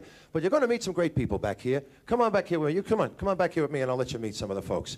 We got them everywhere back here. They're on the phones. They're walking around. They're manning this. They're manning that. They're doing everything. I don't know where the heck we are. Here we are. Let me start off with this fella. Here's, here's probably, this guy's been doing a great job, and he's got one of the highest rating programs on the whole network. Tony Barber, how are you, Thank mate? you. I'll be right with you, Mrs. Johnson. Just hang on a Okay, second. wait, you're talking Hello, Don. How No, are you, Tone? She's, she's just holding on. And, and it's very kind of you. Have I'm they very been asking done. for you Good here? evening, everyone. You must be really proud of this bloke over here next to you. This guy, he is, is fantastic. And it might be an opportunity because there are about 3,000 people locked up in the uh, Melbourne Town Hall last night watching Barry and Frank in what's probably the best fight in Melbourne for years and I, years. I have to tell you honestly, Tony Barry, um, I, I didn't think you were going to pull that out. About the eighth and ninth round, I thought, hello, he's really in trouble. A great fight. Look at that. Just have a look at that Chissa boy, and you see what's happened. But I'll tell you what, the old adage is you should see the other guy. right? Yeah. Barry Michael. This is a, a, a big hand for Barry Michael, who is a lightweight and welterweight champion of the so maybe those people that were there last night. Barry, you'd like to... Um, I'd just like to say, um, you know, thank you to everyone who was at the fight last night. I'd just like to uh, hope that all those people there last night uh, send in a donation to help all these poor, unfortunate people. It's uh, it's terrible what's happened. It's, it's, it's really a, sh- a shock to the whole uh, the whole of Australia, really, Don. And uh, I'd like to put in a donation myself of $100. Uh, all those boxing fans, could they please phone in? Well, Frank Roper sent in a. That's good. They're reporting for you out there. Frank Roper sent in a donation as well, mate, and uh, he was a, a very worthy champion. I tell you, uh, after the fight, you said that's one of the strongest men you have ever fought, and I believe you. Uh, that's really a tough, a tough way to go, kid. Honest to God, Don, the man is he's made of iron. I, I never thought he was going to slow down, and uh, honest to God, I was I was glad when it was over. I really was. Congratulations again, Thank Barry Don. Michael, lightweight and welterweight champion and Tony Barber, only one of the great personalities in television.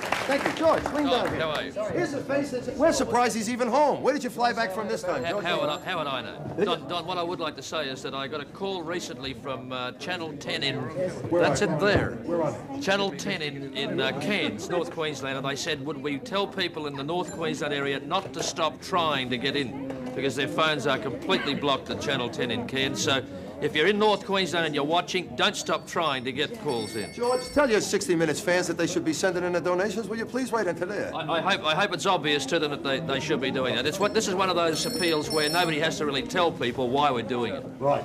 Thank you very much. George Negus, everybody. Have a look down here. Here's two characters that you don't usually see these two together. Reg Gorman, who was an old, old friend from many years ago, one of the stars of the Sullivans. And of course, who's this bloke here? Keeps talking It's to me, me. John. Keeps talking to me. What's your name? It's me, Oswald Q. Ostrich. Oh, they're very nice to meet you. How are you? We have met before, I think. Oh yes, yes, yes. How about a hand for Ossie Ostrich? Back here answering your phone as well. Okay, now, I want to, now, come down front. Please come down front. This gentleman, of course, uh, we affectionately call him here the, uh, the Godfather. Uh, he may look meek and he may look mild, but boy, there's a lot of toughness under that interior. And of course, uh, here's his, uh, his son is coming here now. Uh, you, a lot of you Oh, may yes, not have Papa. ever met his son. It's a, good to see. Don mentioned the other day. You missed the ring. Yes, that's me. That's me. Yeah, tell him what I said the other. That was funny. Don said he hadn't seen Sir Eric, you know, until uh, until what two days ago uh, Yeah. on Monday for the first time this year. And afterwards he said, "But you know." Sir Eric really should wear a bishop's ring. He said because it's not enough just to shake his hand. Should kiss his ring. Everybody here does the same thing. He walks down the halls and they sort of step aside and say, "Oh, hello." Um, I beg your pardon. The girls friends- usually give me a kiss.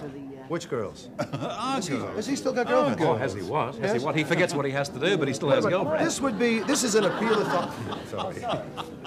This would be an appeal-a-thon, not a telethon, but of course you guys uh, have done this for many, many years. Sir Eric, I think it's a, that telethon we used to do here was really I think Sir you Eric's. ran I it. yes, really, you ran yes. for many years. I think the first telethon that Sir Eric did was, uh, I think, during Captain Cook's illness, wasn't it? when he had the very bad attack of influenza. What, what do you want to say to them out there, Sir Eric? Well, Why don't you I just want to say. Sit down and say it. Yeah, Eric. Sit down and. Come on, we'll all sit down. You're not getting any excuse younger. Me, excuse me, he's got the good suit on. Okay, but sit on my knee, Eric. Come on, sit on my knee. It's okay. We'll all sit here together. There's your, There ma- there's your camera. Do it. Oh, here it is. Do your here. magic message. No, no, we're in here. through that thing. This Oh, one, yeah. right over there. Oh, I Right see. Right, this one. Give you the Right. little one. No, over here. A big one for Sir Eric. Off you go. Go ahead. Now, don't muck around. What do you We, want uh, to look, say? will Whatever you want to we will say, say to people, nothing, it's nothing at all. Me. No, seriously, I don't know. Which camera am I on now? Oh, over there, playing around Eric, over there. Somebody's playing around with us. Now, all I want to say is this. Eric. That this is the Eric. wonderful thing. No, this is the last time we mess around. I promise you, Peter, no more. He's Who getting a little, a directing little tetchy. The pills are wearing off. It's all yours. Close up. I'm getting out, so you won't blame me. Bert, come back. Come on, do yourself. Pitch, do your pitch. Oh, there was a young lady from Gloucester. David Street, Blackfriars. Now, I want to be serious for just one moment. Say thank you so much for all you've done. It's a wonderful thing for us to be together again. I, th- I think the people of Victoria are absolutely magnificent. I've said it for donkey's years, and I shall go on saying it until I leave this world. You are very wonderful people when it comes to the crunch. And we enjoy doing this too because it does us a lot of good. I'm sure it does you a lot of good to give. We are terribly, terribly distressed at what's happened in Victoria, and we hope that one of these days we shall be able to help to find some sort of solution to the great problems which face us with drought and rain, floods and fire and so on. Thank you so much for all you've done for me. Thanks, Eric. Thank you very much indeed. And, well, that's for you. That's all for you. It wouldn't be, uh, the appeal wouldn't be a telephone uh, without you. And uh, that goes with all the, the love in the world from everybody here at Channel 9. Up yonder, there is a, a reasonably famous sporting star with, uh, with Don. Oh, really? Here you go. He's talking on the tele. He's talking on the telephone now, but everybody knows this head. Everybody knows this. This is the guy that sort of turned football around. Ronald Dale Barassi. Say hello, will you? Big applause out there, for him. You can't hear it in here, but they're all doing it. How are you? Don, very good. Isn't this wonderful how everybody's pulled together with this thing? This is fantastic. Uh, really, uh, when this all settles down, it'd be fantastic. It would be absolutely great if we could keep up caring for each other like we do now. Wouldn't it be amazing? It'd be nice if it could carry over, wouldn't it? would yeah, be, yeah. Come to think of it, I never even thought of it. Well, not way. so much the money because you know people can't don- keep donating millions every week uh, all the time, but uh, just to understand we do live together and we should live together better than we do, Mm. which is uh, one of my uh, thoughts. Uh, keep Australia beautiful, not just on the countryside, but the people. So it's, keep- absolutely, it's absolutely fantastic. Another one of your thoughts that I have proof in a letter is that you always want to keep Australia proud. You must really be proud of them today with over a million bucks in the kick here for. Uh, I'm proud to be an Australian and I want to be prouder. That's the sort of uh, thing, but it is good. I've been, uh, over the years, involved in a couple of bushfires myself as a fighter and as a kid watching one across about a 60 mile front, and it is uh, absolutely horrifying. And, uh, but to see the, the people get behind, and I just hope that uh, all of you, you've dug deep already. I'm sure there's a few who have just gotten home from wherever and uh, could even give more money. It'd be great, wouldn't it? even if they, don't even have to be Melbourne supporters, mate, just as long as they're football fans, right? No, no, as long as they're Australian. As long as they're as long as they're here. In fact, visiting Americans and Englishmen can donate too. Ronald Dale Barassi, how about a hand for him, will you? Okay, yeah. Over here. Thank you, Ron. Here's two, uh, two of our beautiful people. First of all, have a look at this head. Lift your head up a minute. I want to see. Brian Cadd, one of the more famous musicians that we've ever produced out of this country. Internationally known Brian Cadd. He's not playing piano now, but he's sitting here taking the donations. And this beautiful lady, can you tell him to hold on a minute? I'll say goodbye now. I've got to turn to Tell him to hold on a second. Great. I've got This is uh, star of They're Playing Our Song, musical comedy star, television star, motion picture star. Here she is, Jacki Weaver. Say hello to her. There's the applause out there, yeah? Isn't this terrific the way everyone's been pulled together with this oh, thing? I'm Just. I'm delighted. The people, it's, it's so beautiful to bring up. They're really And it shocked me. It sort of like really moved me when I looked up and there were people like yourself and everybody coming in here. I mean, you're not even connected with this joint, but you did it anyway, you know? Thanks, Jacki. Jacki Weaver, everybody. And, oh, look who's down in the front. Say hello to, uh, I can't, I don't know all the names. Patricia Newton. I didn't Keep think you were those down in phones the front. ringing. Come on. Hello, Ossie. You know, I've got, I've got some people here from Mapleton Community. They've donated $2,000. Two thousand dollars. Isn't that wonderful? It's really terrific. Well, we're lucky, aren't we? Because we can. Uh, we're going home to a to a nice, comfortable bed tonight, and uh, we are very lucky. It's So. the first time I've ever sat with two birds. It's nice. It's really nice. I hope all those people keep sending that money in, please. Who have you got there, Jack? Jack, isn't that terrible? This lady said she's only able to give $5. Is that all right? That's of course it's all right. definitely all Thank you very much. We're right on the... But, uh, the hello? It's a kiss. Mwah. I got a kiss first. What do you think of that? Oh, I should have got one. Yeah, well, you Come know. on, give us a kiss. Okay. Oh, I never Excitement washed for a are week. pretty- Pretty good. Your husband's not doing bad tonight, is he? He's doing wonderfully, and so are you. Yes. You're singing later. No, I'm not. No. Oh, And- and come a on, you are. of Come mine. A friend me, of yours yes, is. Yes, There will be an appearance, folks. There will be an appearance. We need a new total? Where is it? On here? That's not on here. Oh, this one. Yeah, there, there it is. Well, now that's really a bigger shocker than the other one. That includes the 400,000, of course, from the Prime Minister. But, ladies and gentlemen, our total at this present time at midnight, 138, wait, $1,384,142. I'll tell you, that's a rip-off. Stuff. Everybody should be like that. We, uh, Ernie Sigley has flown in especially for us. He has some film of Mount Gambier and what went on there. And we are going to talk to a gentleman, uh, one of the most, uh, uh, most popular radio personalities uh, in Victoria, a television personality as well. Derryn Hinch is here, and you won't believe about the close call that he had. We'll be talking to Ernie and Derryn after this break. Don't you go away. We got a lot more entertainment. Daryl's going to sing. Somebody else.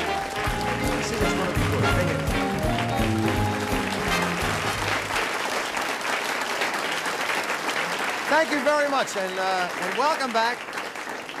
We have no idea how long we're going to be on here uh, or what's going to be happening, but as long as you're out there, as long as you're enjoying yourselves, as long as you're sending in your donations, as long as you're helping these people that really need your help, then we will stay here, okay? And uh, I hope you have a heck of a time. Is uh, John there? Is, is John Deacon? I just want you to meet somebody. This is an Australian gentleman that has really done himself proud. He's the star of Oklahoma. He's got a little word for you. John Diedrich. Here he is. Here, say hello.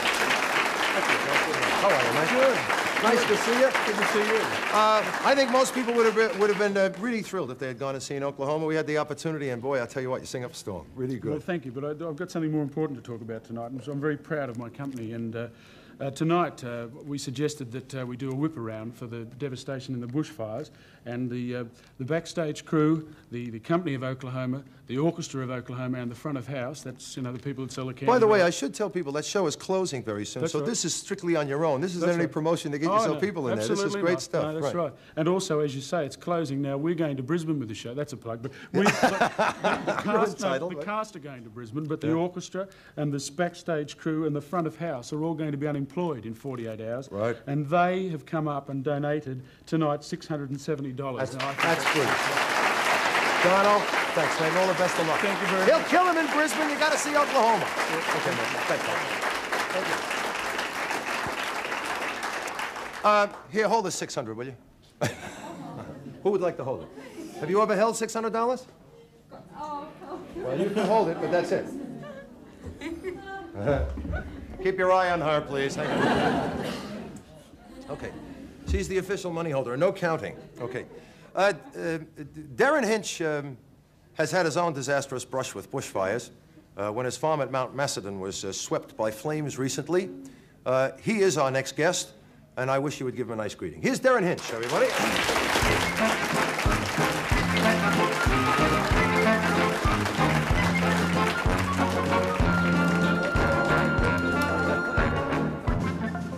Well, this thing, uh, of course, uh, the magnitude of this thing must have really shocked you also, because having had a real taste of all of this, uh, you would have known how horrific this can be. Don, two things. One is I don't think until you've been through even a bit of it, you can't comprehend the fact that when it's gone through and things have burned, there is nothing. You expect if a building goes that there'll be some structure there, there'll be some walls of some sort. But you go through and there's nothing. Now, I think I was one of the luckiest people in Victoria, which sounds crazy. I only lost, I lost barns and cars, or a station wagon and hay and all that. But it came within about a metre of my house, blistered the walls of the house, and the firefighters uh, gutsy, wonderful people saved it. That was a couple of weeks ago. And in this one, um, it missed me. Oh, wow. And so I've had two lucky breaks. Well, we mentioned before, too, uh, from, according to what I read, there was combustible material that was very near you, that We if that had had- gone up, that would have been it for your whole area. We had a full oil tank and a full LP gas tank about um, 10 feet from where the flames got. And what about on radio this morning? What's the reaction from people? Well, it's been amazing because we came on at 3AW and launched a, a cash appeal. And this is unbelievable what you're doing here. We launched a cash appeal because people don't understand that when towns go, when towns like Macedon go and, and um, Cockatoo go, banks go. Oh, right. Everything I didn't even goes. People have not even, don't even have a dollar. And so we said, give us some cash now. And people from Melbourne, we said, don't phone up and pledge it, although phone up now and pledge it. But this morning we said, don't phone, bring it in. And they brought in, well, I left there about 6.30, and it was up to about $192,000 in cash Oh, brilliant. across the desk. That's terrific. Right? Thanks. Unbelievable. That's so much for you. That's good. well, what does it make you now? Here's a question for you. now, having been in it and having known how close you came, what does it make you feel like when you get that sort of a reaction from people? I mean, uh, does that shock you? Did you think you were going to get close to that? No, I did not. No, amazing. No, I thought we'd get about $20,000, to be quite honest. Yeah. But the one point I would like to make tonight, and that is that all of the people giving money tonight, there's some people you should keep in mind, and that is that the people, a lot of them who lost their houses, were guys who are out fighting to save other people's houses. Now, when my house was saved two weeks ago, my neighbour's house above me went completely. My neighbour's house below me went completely. The guy above me, a guy called Ron Bowen, is with the CFA, and he was out fighting fires, Oh. and his house goes. Wow, yeah. The guys who saved my house, I can't even thank them. I don't even know who they are. Hmm. They're just people who went and saved houses. And uh, some of those men who died, the 12 firemen, fighting to save other people's houses. And Hmm. uh, I think if we're going to have Australians of the Year for this year, I'd say the guys, the volunteer firefighters, uh, the be, ones yeah. who did it. Well, it's like, it's like we said uh, uh, earlier with uh, Mr. Fraser oh, and, uh, and Mr. Hawke. When, when you extend yourself, you use the firefighters, you use the army. After that, there's nobody else left to call on. I, I heard some of the firemen talking about the hopelessness of the situation. They stood there, they had equipment, but there was just nothing they could do. It's a gigantic wall of flame, and where do you go? And, and uh, My radio producer, Paul Barber, went through uh, Cockatoo after the fire, was talking to firemen there and talking to policemen, and they said they could have had 400,000 firefighters there, and that wouldn't have stopped it. They were up at Cockatoo, they looked around, they saw the flames, and they thought, we've got 20 minutes to get these people out of here. Two minutes later, the fire had gone through. And you're talking about walls of fire. That's the Macedon fire on the monitor, by the way. That's uh, your area there. Yeah. Well, the people who, who have ever been to Mount Macedon or ever been to Hanging Rock, because that's in the same area, if you've ever been up there, give a lot of money now because uh, all your favourite places have gone the Swan and Perch restaurant, the Dear Old Country Store, uh, the post office, and then in Macedon itself, uh, just virtually everything's gone. And these are walls of flame which are like 50 and 80 feet tall. Cheapest. Uh, has anybody talked about how long it's going to be before that area is able to get back to normal? I would suspect it's going to be 15, 20 years or something like that. eh? Well, I was talking to a fellow who works with me on the farm, and he said t- yesterday some other pine trees went, and he said you will never see. He said you'll be dead before all those trees come back Is because they were you know huge trees, Hmm. and uh, of course it's the, the human carnage that's going to be the thing. Well, you were, you, were, you were very, very lucky in one respect, Derryn, and, uh, but uh, at least you had the opportunity to pay it back. And I think you, you did it uh, in the best way you knew how. Oh, thank you, Don. Good on you, and it's Thank you. terrific. Thank you very much. Okay? Derryn Hicks, everybody. Stay here, stay here a minute. We'll call on Here's, uh, here's a fellow that was in Mount Gambier. He's no stranger to these studios. We haven't had him in here for a couple of years. It's going to be nice visiting with him again. How about a nice greeting? Ernie Sigley, everybody. Here you go.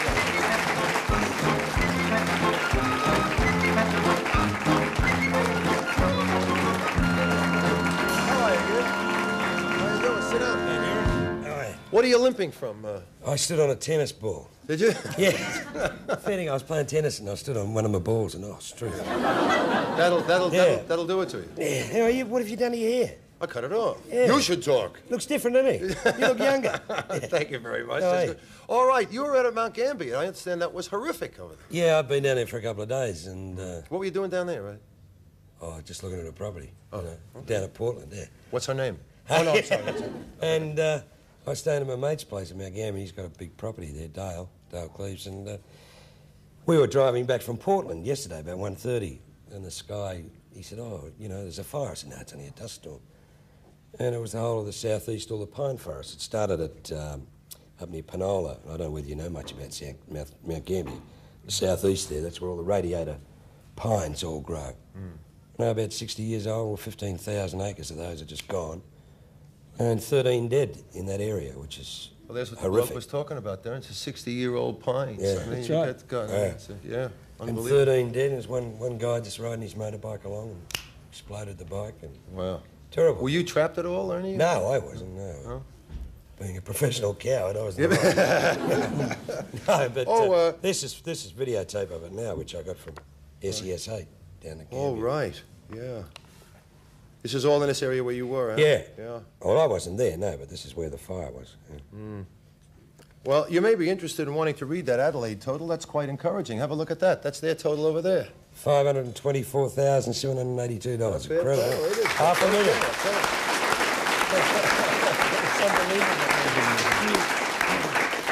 You know, I, uh, I, I keep alluding to it, but I remember uh, it, it, it was one of the reasons how I ended up back in Australia. Years ago, I was in America, and I got a phone call saying Darwin's been wiped out. Do you want to come back and do a concert? And I came back. I think you were involved in it. A bunch of people were. We came back and did concerts at the Opera Yeah. House and some other places and raised money for Darwin. I was And doing the Ernie since- Sigley show here then. That's right. Yeah. I went on holidays and he came in. That's when you were, that's, that's when you were working with the frog with long Yeah. hair, right? Yeah, right. And uh, and uh, I, that's the first time I've seen them put. Uh, That excuse was one of my beauties. You're talking to Denise Drysdale. I'd be very quiet if I were you. Just I want you to keep him up as late as possible. For people in the state don't know, these two are competitors on morning radio, I but they are friendly ones as well. Nice And these are the two top two radio personalities Don't in Victoria that, too. You see? I saw you backstage. you should see the house that he's going to buy. Yeah? This bloke, it is beautiful. Absolutely What happened to the other farm you had? You flogged the farm to uh, Denise, didn't you? yeah. She hasn't spoken to him since, I tell that's you right, that. yes. John, the reason I was asked to pop out, and that is, of course, when something like this is happening, and Darren was telling his story so graphically, and Ern was uh, doing whatever Ern does. Uh, Thanks, the, Bert, yeah. the thing is, the phones, of course, stopped ringing out in the phone rooms, and we have had. That's because they want to look at me. Exactly. They say, God, he's good looking, isn't he? Uh, Paul Newman, Australia's Yeah. own Paul Newman. And what happens? Amazing. We've He's a got lot a of phone that would calls stop a phone. Yeah. from the uh, to the switchboard at uh, the various television stations, thinking that the number no longer is operating, but it is. In Melbourne and Sydney, double one six five nine, double one six five nine. That's very good. Thank you. Bert Newton. There's Thank you. also the TAB number, too. We got the TAB number, Adelaide phones. Yeah, where are the Adelaide phone numbers? It's nice for you to hold up Adelaide phones, but they're not here. There's nothing There to you it. see. There it That's is. the TAB Melbourne TAB. phone number. Just for those people who don't realise, the TAB have very kindly given us the, the whole of their system there. 100 operators are still working there. And most unusual to see the TAB Melbourne with a different number. 260 260 1111. 260 1111. Have you got a gold card account at the TAB? I mean, he does. Uh, No, I don't bet, Don. I don't drink, I don't smoke, I don't bet anything like that. Right, he used to do all those things Cliff. Richard. What's it? You know, you know how bad it's Yeah, getting I'm now? Footscray's Cliff what are you doing, boring I- yourself to death? I ring the TAB, put my bets on, they start laughing. Anyway, have a look at that. There's a, a trilogy of uh, television, radio, and Australian uh, stars and personalities. There you go. Oh, you three. And incidentally, Don, I get the engagement rings by the gross. But never mind that. Hey, did, I've been away in Fiji. Did you get married? I went to Fiji. No, Fiji. I didn't No, get no. We're that's talking all about. Derryn. Well, he did actually, but we're keeping it. It was a wonderful wedding. Everyone there had a wonderful She time. the whole happens to be here tonight, and she'll come out and clip you right on the chin. You keep And she could too. She's Yes. seven feet. She's No, she- seven feet I saw a and movie. walks like I saw a movie in it. I saw her in a movie the other night. Leslie Downs, isn't the girl No, that it's came no, out? no, for- Michelle Downs. But we, Michelle Downs. but we call her Mickey. I Mickey. thought it was. We'll be back after this break. Don't you go away. Mickey, it's Johnny. She's here and she's coming to get you.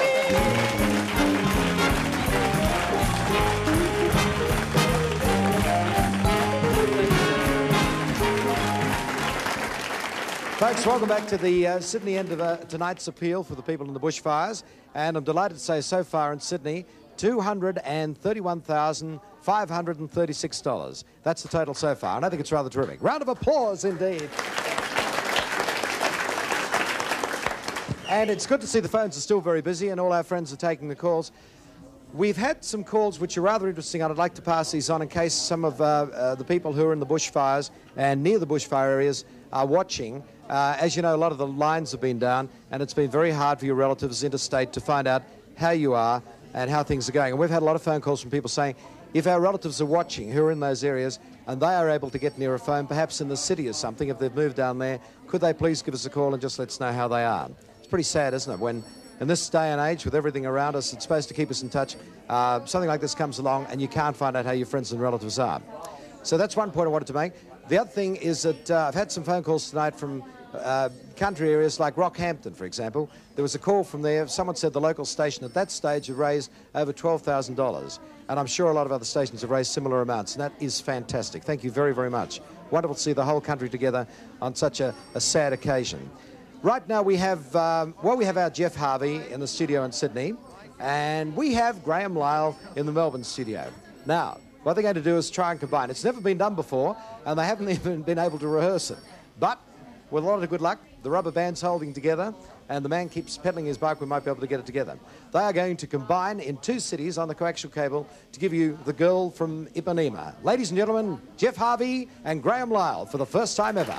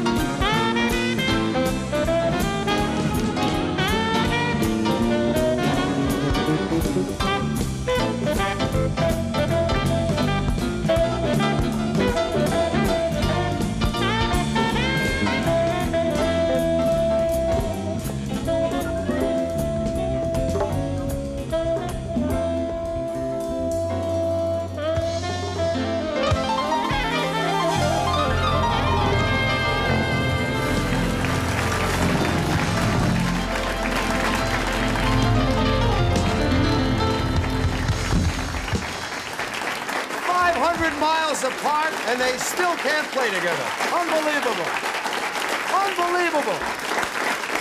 Mighty good, I'd say, Geoff and Graham. Thank you very much. Mike, Yes. 500 miles apart, and they still can't play together. It's unbelievable. My gosh, Geoffrey, that's a shame. Isn't it So- it sounded fine from here anyway, and I'm only about uh, 12 feet away from you, so it sounded fine from here. I just had a call from someone who probably made a rather good point. A lot of people haven't been able to get through, and they said, What's the address? So I'll just read it out. It's GTV 9 Bushfire Appeal, Post Office Box 100. Richmond, Victoria, okay? Post Office Box 100, Richmond, Victoria. So if you'd like to send a check there, it'll be very much appreciated. Well, we've had uh, a, an amazing evening here, getting all these calls come in, and uh, we're very delighted that New South Wales has stood behind the appeal so much, and people all around the country. The number in Sydney, now we're going to say goodbye to you folks, but that doesn't mean we're closing shop. The phones will still be running and still be manned. Double one six five nine is the number. Double one six five nine. And as I say, the atmosphere has been amazing. Our crew, I just saw them walking around. Taking up a collection, and they gathered $225. Mike, I and we know how well they're paid. so we can you- congratulate them very much on their wonderful donation. Uh, I tell you what, he talks more than I do. I can't believe it. Uh, Mike? Yes, Don. Can you hear me? I just, I would really like to say, I know that uh, it's uh, uh, the TCN9 people and your cast and your crew putting it together. I really don't, we were talking about this uh, today. I don't know any place else in the world that could have put this together in a day and said, uh, okay, we're going to go ahead and we're going to do it with production numbers and everything else. It's only because of the expertise of you, your people, and, uh, and the cooperation of you and your people who just started this afternoon and just carried it right through, kid. It's just terrific. We are all really proud of you and everybody there. Thank you. Thank you, Don. Thank you very much. I appreciate that. And I, I'm accepting that on behalf of our crew who have been marvellous. And I should say the idea sort of came together this afternoon to join in with you and to uh, broaden the appeal uh, to Sydney and to really make sure we got a good result. Uh, I think on behalf of us all, Don, thank you. It's been lovely being with Are you. you- are you gonna And we'll just all say goodbye. Bye-bye. Keep hang on, hang on. Aren't you 165? supposed to wait a minute? Nine Aren't you in going to sing? Bye. Bye. Aren't you going to sing? Good luck, Don. He's not going to sing. you notice, you notice Jimmy Hannan wasn't waving? That's because he can't see. Nobody knows that's a secret, Jimmy. He can't see anything. We're taking a... main studio here. This is where the Don Lane show is done usually. What are you Uh, doing we have out the, here? the audience over yonder, the band over here, Mr. Graham Lyle. This is our this is our compere Morton Isaacson. Hey, a little kiss. but- Not you, her. This is Mickey. Isn't she beautiful? Come on. I'll show you a real television compere. Get him out of here. And I don't trust him. You don't stay with him for more than 10 seconds. Right. We're going to take a commercial break, and when we come back... What? Sweaty palms she has. Sweaty palms. Lovely lady, though. We don't discuss his parts. We'll be back after this break, I think. But,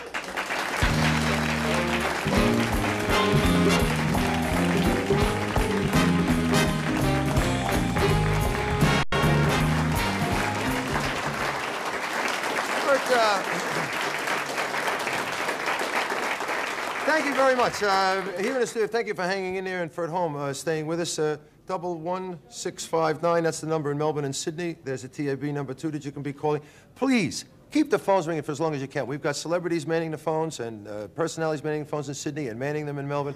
And in uh, South Australia, they'll still be going. There's Daryl and Ossie talking to you. Give us a call. Make a donation, will you? If you haven't done it yet, you just arrived at home. Now's your chance. Look at all those girls. That's the Big M girls. Oh, look, look. Oh, that's in Brisbane. Oh, it's Brisbane. Yeah, they're all the Brisbane girls up there, and What are they're- they dressed up like?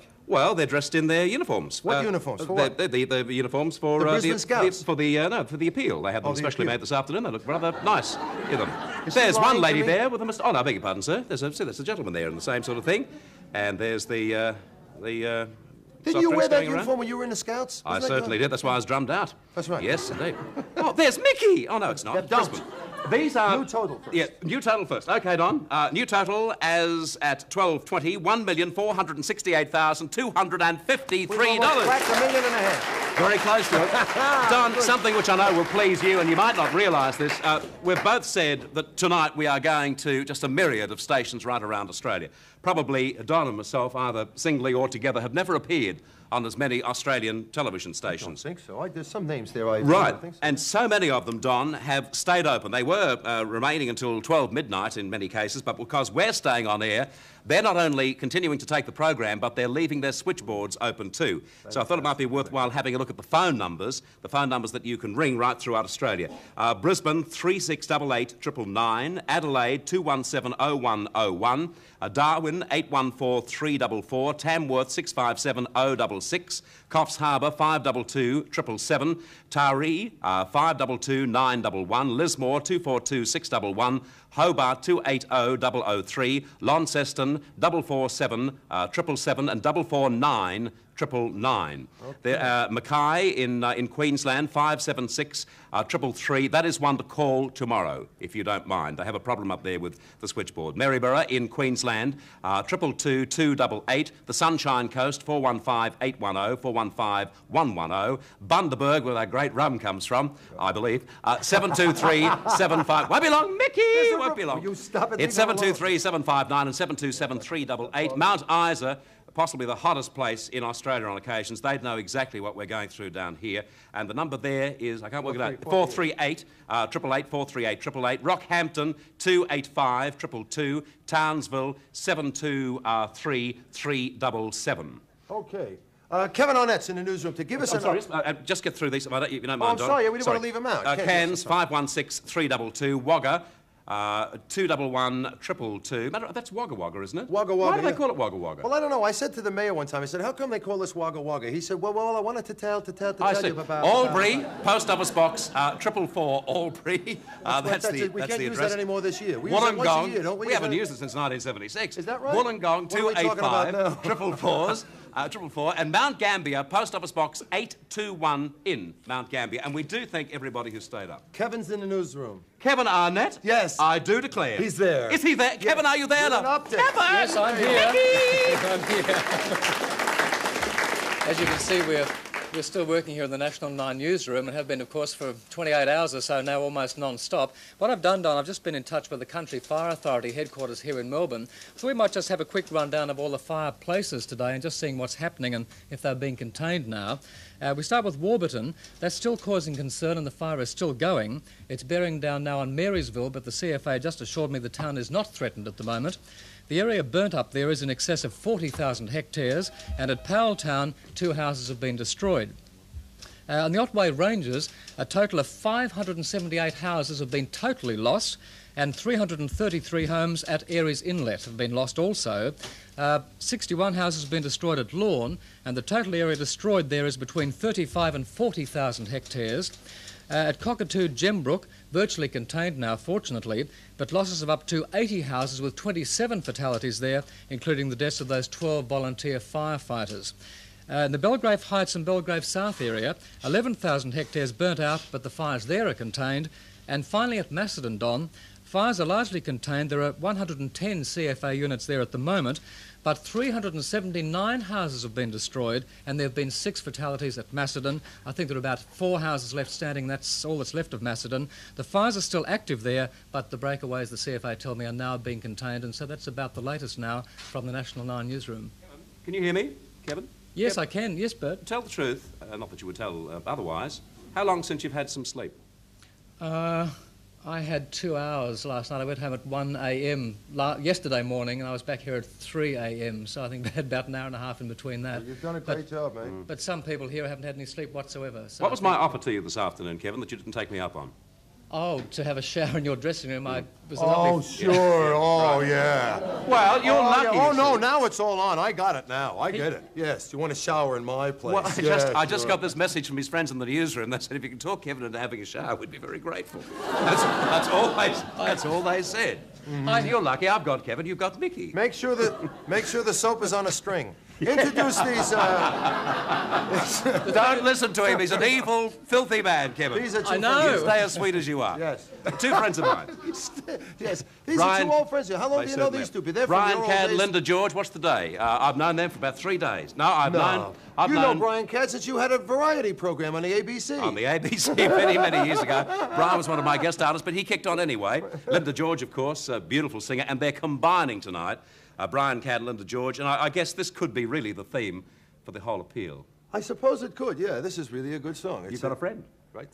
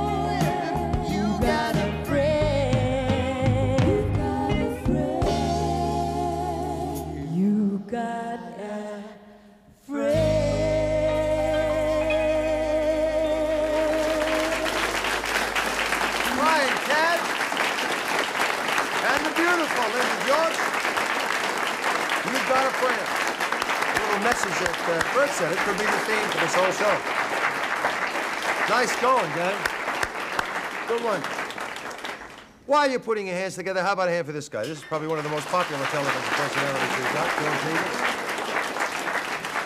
What's uh now? What's up? You're telling me you, you, you you've worked on the phones. You've probably had about ten minutes sleep too. I can tell by your eyes. Not a lot. Not a lot. Where, where, what's happening now? Well, we're about to shoot through, actually, Don. We've just been cleared by the CFA to actually go to Warburton, and I heard Kevin saying that it's one of the areas where a lot of control is still required. I don't know whether somebody's mentioned tonight or not that the, the CFA categorise the fires in four ways. They're, either, they're either out of control, controlled, contained, or extinguished. And at Warburton, they're still at the control stage, which means that they are under control but still burning very fiercely. They've cleared us to go in there and have a look at it. Of course, that situation could change at any minute. Uh, heavy winds. Uh, Exactly. So we're, around we're going in un, under pretty strict conditions, and we've got to behave ourselves when we get there. Needless to say, but I noticed Derryn said earlier that the, the obvious heroes, well, I- I guess everybody involved is a hero in one way or another, but the guys who've really excelled themselves are the, the volunteer fire people themselves. We'd like to have a look at the fire through the eyes of the firefighters. Have you have you ever been? Let me ask you a question. In all seriousness, have you ever uh, been a, a volunteer fireman or part of a thing where you had to be a volunteer fireman? Uh? Many years ago, um, Don, um, I, working here for Channel 9, I think it was the early 60s and the Dandenongs were ablaze. And in those days, of course, we, uh, the OB vans that went out were huge things. They were like double-decker buses. You couldn't get a smaller version because of the amount of equipment that had to go up there. And we uh, climbed Mount Dandenong and got there at about, I guess, 2 o'clock in the morning. And at that stage, because people, television was relatively new and people weren't really uh, used to people arriving with lots of equipment and so forth, and they felt that we were more of a hindrance than a help. Now, whether they were right or not, it was their land, their property, and they were fighting the fire. So we did a couple of reports and then we did some relatively light work, clearing work and so forth. But I was, I suppose, the closest I got to, to any danger in distance would have been maybe a quarter of a mile. But I'm, I'm not kidding you, I, I still think about that. And today, watching the, the television film, hearing the reports on radio, both on my station and, and, uh, and with Derryn and other people, I, I, I try to, I went back to that time. I mean, the simple answer to your question is yes, I, I have done some light work, but it's, who was it who said before, you really have to go through it before you fully, I mean, just imagine, you know how you burn yourself with a match, just magnify that 3,000 times and that's all around you. Listen, I'll tell you one that'll curl your hair. This is the truth, so help me. When I was a kid, we lived out in, uh, we had a place out in Long Island in New York, and everybody becomes part of the fire department there, as it is, I suppose, in many areas here. When you hear that siren go off, you go out and they give you assignments. And they gave us what they called then, I don't know what they call them here, Indian cans, where you get a huge can of water, which you Oh, strap yes, on your back, yes, yeah. and you have one of those pump things. A water- we we were supposed to be going behind a fire to close it off from being able to come back. And the wind changed. And this wall of flame came shooting back, and I went to take a step back and fell over, and I had this heavy can on my back. And it pinned me to, it fell over, just pinned me to the ground, and I couldn't go anywhere. And I swear to you, it is, I was that far away from that thing just sweeping over me. Fortunately, it changed back the other way. I never want to go near it again or know about it. It I just guess, I guess, I guess the, un, the, the unpredictability of the fire is, is the biggest factor, and, and that's the indication of that that's come home in the last day is the fact that there have been so many firefighters. George, I just, yeah, just thinking, you know, comparisons are odious, but um, go back to 1939, Black Friday here in Victoria, and I mean, there wouldn't have been the equipment that we've got today. Uh, it, I mean, it- just to look back then, how must it have been? I mean, today has just been absolutely tragic, and last night, and, I mean, as I say, comparisons are odious, but back in on Black Friday, with, with none of the sophisticated equipment we've got, uh, the whole of Melbourne, I'm told, the city of Melbourne, it was just covered by a black pall. In Bourke Street, you really couldn't see for, uh, you know, for 200, 300 yards. Could I just lighten the subject, if I, if I may, Don? The population of Canberra, would you have any idea what, what I, do, I wouldn't have known exactly until I got this card, 230,000 people, Well, right? thought it would've more than that, No, 230, we're told. They've just closed their appeal, Capital 7, the television station there, remembering population 230. Would you like to read that, George? That's what they've raised. In Canberra, they've raised $416,016.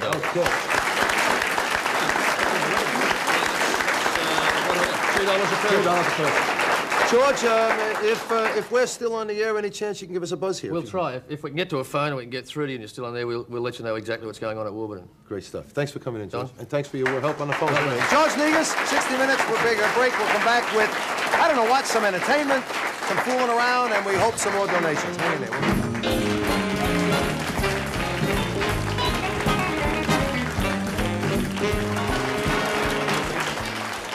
Got some totals here, Don. We've got a 12.30 total from Adelaide, from Channel 9 there, $557,381. That's brilliant. SEQ, uh, Sunshine, yeah, let's hear it for Adelaide. SEQ, Sunshine TV, in the beautiful part of Australia, southeast Queensland, they have raised $37,000. Not a lot of people there. Yep. An offer has been made by Aron Freight Lines uh, in Darwin. Uh, any clothing, any personal effects, any furniture that you would want flown down to Victoria or to, to South Australia, they are willing to, to do it for you. Uh, Aron Freight Lines, uh, 7 o'clock tomorrow night, they'll, uh, they'll leave Darwin. So just contact them, Aron Freight Lines in Coonawarra Road, and they'd like to, to help out anyone who wants to get furniture or personal effects any, uh, of any kind down here to Victoria and South Aussie. Good on you, folks. That's terrific of you to do that. Great. Uh, here's a here's a little surprise for you. Uh, we open, uh, the satellite, of course, is always open to every place, as you well know. We can connect up anywhere we want. We got a message uh, that was given to us this morning uh, that came directly here by satellite by one of our good friends, David Frost, who does the uh, the breakfast program uh, in uh, in England now. He does a program with uh, Parky and Michael him Parkinson. and uh, Angela Rippon. Yep. They do a, uh, a morning breakfast program there. Two hours ago, came in. Came in two hours ago. Here's a message from David Frost, the David Frost.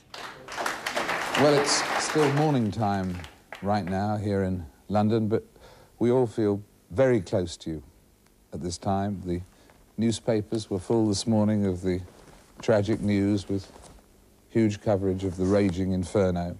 And indeed, we've just finished doing Good Morning Britain an hour or so ago here from this studio at TVAM, and the news bulletins were, were dominated by the satellite pictures of the tragedy that you've been experiencing. And I know that I've rarely been more moved than I was by, I think it was the words of Mr. Trotter. We couldn't quite hear the name clearly, but as we heard what he had to say about his suffering and the, and the feelings that he was going through.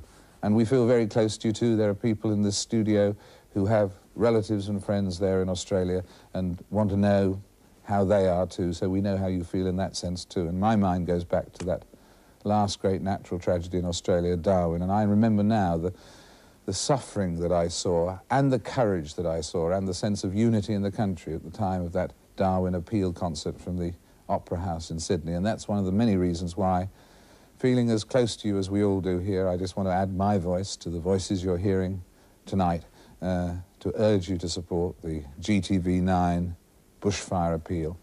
And to say from all of us here at uh, TVAM, and a lot of them are people who've been there a lot, like Angela Rippon, Michael Parkinson, and all of us, to say that we're thinking of you. Your prayer, our prayers are melding with your prayers, and uh, we hope that you'll allow us, although we're not there in Australia, to send a cheque to this great cause and this great appeal from here.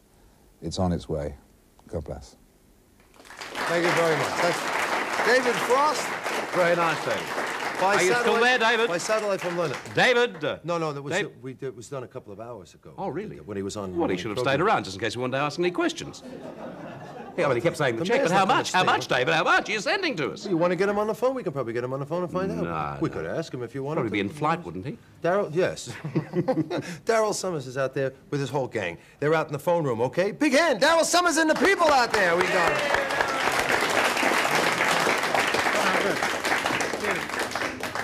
Yes, uh, you can see me now.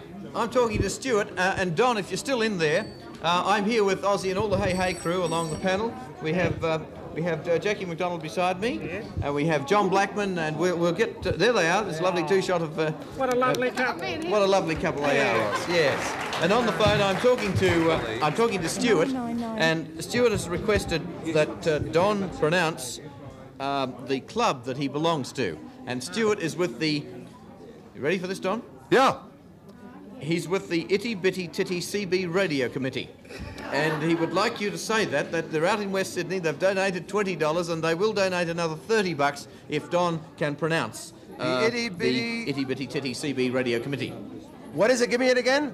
It's the Itty Bitty Titty CB Committee. The Itty Bitty Titty CB Committee. You've got to say it four times. Well, only send a quarter of the money then. I don't care. Doesn't matter to me. No, ju- just have a go. Have a quick The. Itty Titty Bitty City T- uh, TV Committee. That's good enough. He's done it. Thirty dollars. Thank I you, Stuart. I out certainly there have. at, uh, It's a Tregear. wonderful hello to all the other guys, and I will do your uh, your. Uh, he's in, uh, uh, would like the other CB radio clubs to. Uh, he's ch- you're challenging them, aren't you? Is that a CB radio club? It's a CB radio club. I thought club. it was a Weight Watchers club. No, wait, no, no, no. No? Uh, Stuart, Ah. nice to talk to you. All the best. Good on you, There you go, Stuart. And I was talking before to, uh, you can see the Melbourne and Sydney number on the screen there, double one six there it is. five nine. I was talking to Steve and Brett, who, um, hello, be right with you. Um, Steve and Steve and Brett. I told her not to ring when we're working. Uh, Steve and Brett in Darwin, and Uh-huh. it was lovely to. Uh-huh. Hmm. Sorry, he hasn't got the ears. This is the Sorry. bushfire appeal. Who am I talking to, please? Iris, would you just talk amongst yourself for one second? Thank you. Um, Hello there. Steve and, Mhm. Steve Oh, and that's Brett good. are in Darwin and Oh, that's they bad. have donated uh, Oh, that's uh, good. quite a bit of money. Oh, that's and bad. I wanted to say hello to them and they, That's they good. reminded me that 1974 bad. was the uh, Cyclone Tracy, the That's good. disaster in, uh, That's bad. in Darwin, and they, Mm, that's good. of course, remembered Uh, that's bad. how bad that was and No, therefore that's gave good. during this. Yeah, that's bad. Ossie! No, that's good. Ossie! No, that's bad. Ossie! Yes? What are you doing? I'm sorting eggs. Boom, boom. Ah. I was gonna Thank you, try- Brett. I thought nobody'd ever get on it. I was going to try. Dear me. Ah, You still sorry. going with that girl? Oh, by the way, Yeah. are you still there? Uh, would you like to speak to Jacki?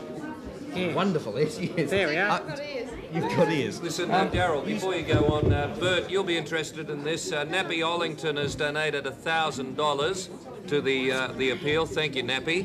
And all the boys out there, whatever you're doing at the moment. And 3AW, incidentally, their midnight total was around $217,000. So to all the 3AW listeners, thank you.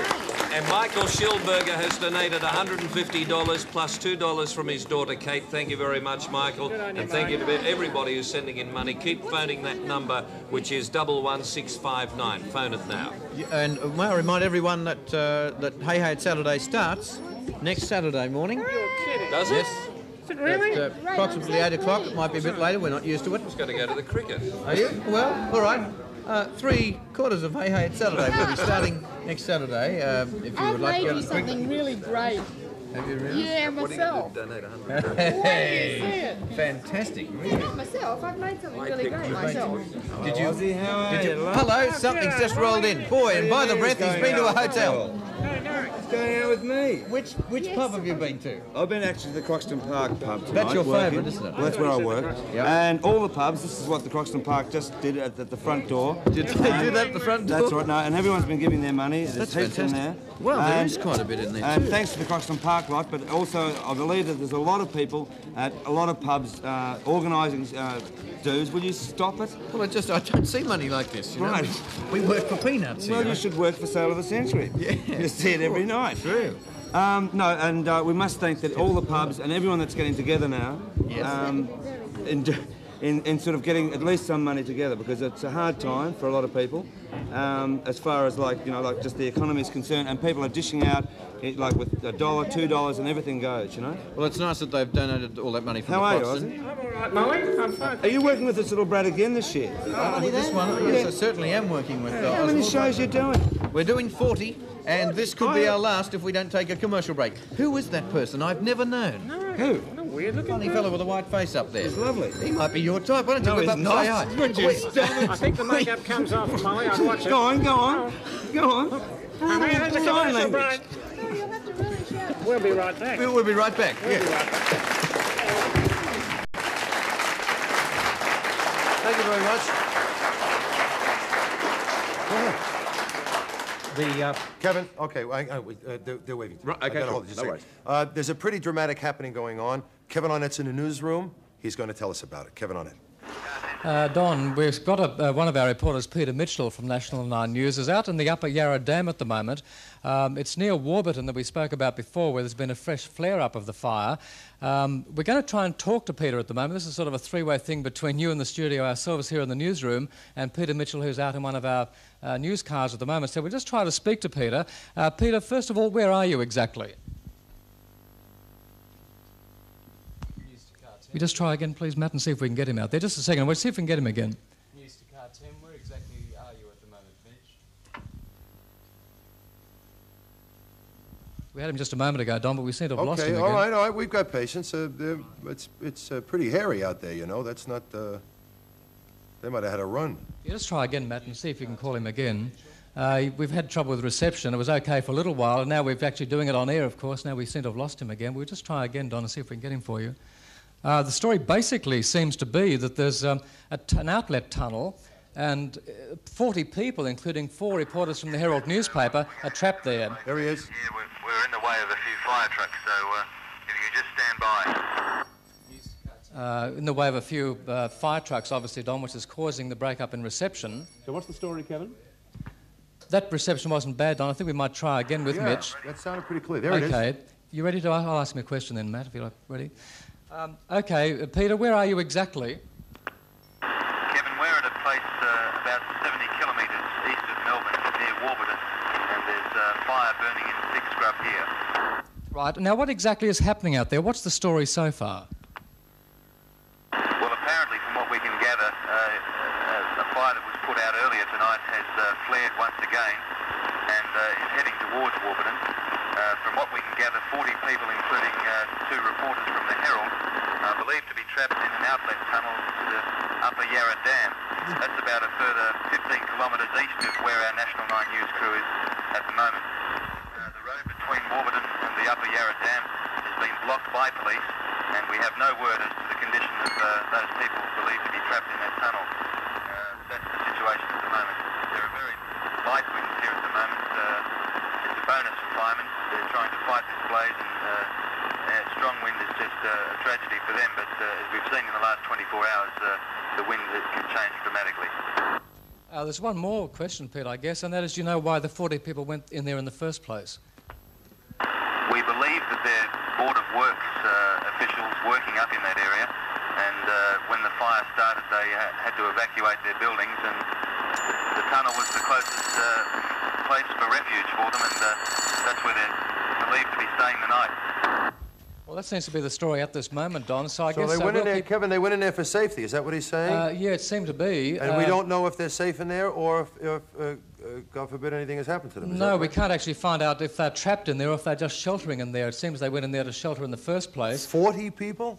Yeah, 40 Oh people, including four reporters from the Melbourne Herald down here. So I think probably the best thing is if I cross back to you now, I'll keep in touch with Peter. Okay. And as soon as we have some more information, I'll give you a buzz and we'll, we'll take it from there. Okay, All Kevin. right? Okay. Yeah, okay. Yeah, I think very important too, Don, to realise with that the news that's just come through, which uh, on the surface could look very, very serious.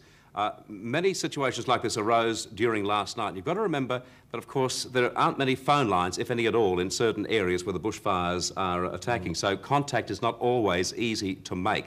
So it's very easy to say not to panic, but please keep in mind that contact is very hard to make in certain areas. So, Yes. you know, hope is certainly not gone. And you see, uh, there's all the more reason why you should keep the, keep the donations and things coming in. This thing is not over yet. It's far from over yet. And believe me, they're going to need every cent that they can garner. Okay, you, you get it up if you can. Okay? Well, Darwin, with a population of 60,000, has donated up to $42,000 up to half past 12, which is a, a great effort. Oh, I think that's great. I think Don Seccombe's waiting for us at Yeah. QQ9. Uh, QTQ9 up in Queensland. Uh, Don Seccombe's up there. Hello, Don. Telling the folks to shush. Take it, Don. There you are. appeal I've ever been Well, thanks, associated with up until this time, because normally in appeals of this sort you have to urge people to ring in and give donations. So far we've done very little of that, although I will say the number now, it's 3688999, but people have been ringing up purely out of the goodness of their hearts, and we thank you very much indeed. And we also thank the Premier of Queensland, the Honourable Joh Bjelke-Petersen, for turning up tonight. Thank you, sir. Thank you, Don. Uh, naturally, we all here in Queensland are, are overawed by this terrible tragedy that has befallen so many people. And uh, we recall the uh, time when they helped us in our 74 flood period. And naturally, we want to respond even apart from that, of course. As a government, I want to uh, announce that we are donating an initial amount of $50,000. The um, Queensland uh, newspapers, they have given 5,000. The Queensland Hotel Association has given 5,000. The Queensland Brewery, the Castlemaine Brewery, have given 20,000. And so there are big amounts coming in, Don, and, and this is the amount that uh, from the government that I'd like to you to accept, and uh, later it'll be transferred to uh, the people in both Victoria and South Australia. We pass on to their people and their relatives, everyone, our very sincere thim- sympathy at this terrible tragedy of time. Mr Premier, not trying to top your story, but Channel 9 News and also Today Tonight have come up with $25,000 to add to that total, so that's Premier, wonderful. You probably would have seen uh, bushfires yourself being from the Yes, land. yes, I I have. I many, many times. I had in one of the camps when we were working years ago. One of my men was burned to death too. There were six in the fire, and five escaped, and one was burnt. And so I know quite a lot on the tragedy that besets people and the awesomeness of, a, of a oncoming bushfires. We experienced it, and they've experienced it. Would you like to talk to the people of Australia and just make a small appeal from the Well, government, from yourself? Yes, I would. I would like to make a special appeal, not only to Queenslanders, but to everyone across Australia to give and to give freely in this time of awful tragedy that has beset so many people. It's hard to realise it. We've seen it on TV tonight, and we can appreciate the anguish and the anxiety and the, and the sadness. We, so we appeal to all. I myself will be giving a donation, I'm sure everyone, uh, by and large, will do the same thing. Mr. Premier, thank you very much indeed for coming in. And perhaps at this stage we can ask Pam to remind Well, people of the number. And being an ex-ad lady, and of course, it's you know. uh, Of course, yes, you feel for them. Yes, I'm Tell me, Pam, you, at this stage. some of the areas badly affected you would know, of course. Oh, I know all of them. In fact, we live very close, uh, close by, and uh, there's a lot of friends out there that, uh, you know, I know are going to be in a lot of trouble. So the address to send it to is what we'd like to tell everyone. Once you've decided upon your donation, and we hope it's a substantial donation, is to the National Nine Network Bushfire Appeal, GPO Box 999, Rich- Richmond, Victoria 3121. And do it now. Thank you very much, Don Lane, for having us on your program. Oh, it's a pleasure, Don. Thank you. Thank you, uh, uh, the Premier of Queensland. Joh Don, we've got a new total for one o'clock. It's getting pretty close to two million. It's one million seven hundred and thirty-eight thousand two hundred and twenty-one dollars. I love it. All Thank you right. very much. Yeah, nice What about the phones, though, Don? Very quiet out yonder. Okay, the phones are very quiet. Uh, are we going to go to some form of entertainment or something? Because we're going to take a break. Okay. If we, I thought maybe you and I might run out and talk on the phones for a minute. It might be a good idea. Maybe we can encourage some people to call up. Uh, there's a lot of girls sitting around there. You can take a look yourself. They're not. The phones aren't ringing. If you're up and uh, if you're about, if you haven't made a donation yet, come on, do it. Will you? You- have to get up, get off it, and get on it, and send something into us. Okay? It's going to be a. You'll feel better. I promise you. Because we like your faces. We love your There are, faces. there are 60 girls I love your at the TAB, and there are 53 who are not getting phone calls. So that's not good enough, is it? The phone number there at the TAB, from memory, is 260 1111. 260 Oh, he's got such a wonderful memory. He did that without even reading anything. There Oh, there it is now. 260 1111. Oh, no, I beg your pardon. It's 260 1111. So that's the phone number to ring, and there are 53 girls there who are just waiting for your phone call. Why you? They will give you anything if you ring that number right now. Oh, we are going to take a break. We'll come back. There's a lot more entertainment. Daryl's going to sing, I think. Yeah? And, What me? And you. Oh, no. Right.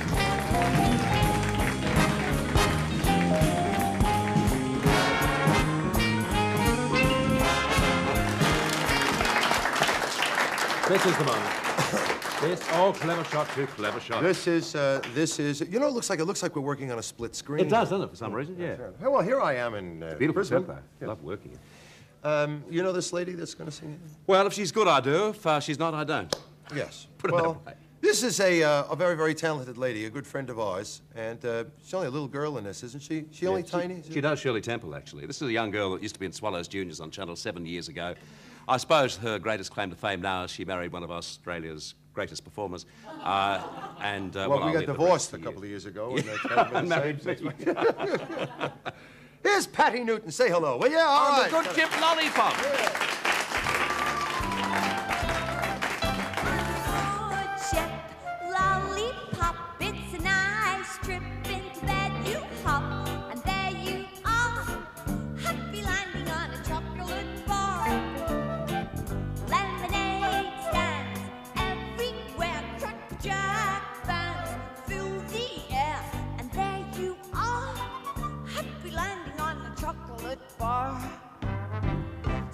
sugar bowl, do a tootsie roll, to a big bad devil fruit cake. If you eat too much, ooh, you'll awake with a tummy ache on the good ship. Lollipop, it's a nice trip. Into bed you pop, and there you are on the good ship.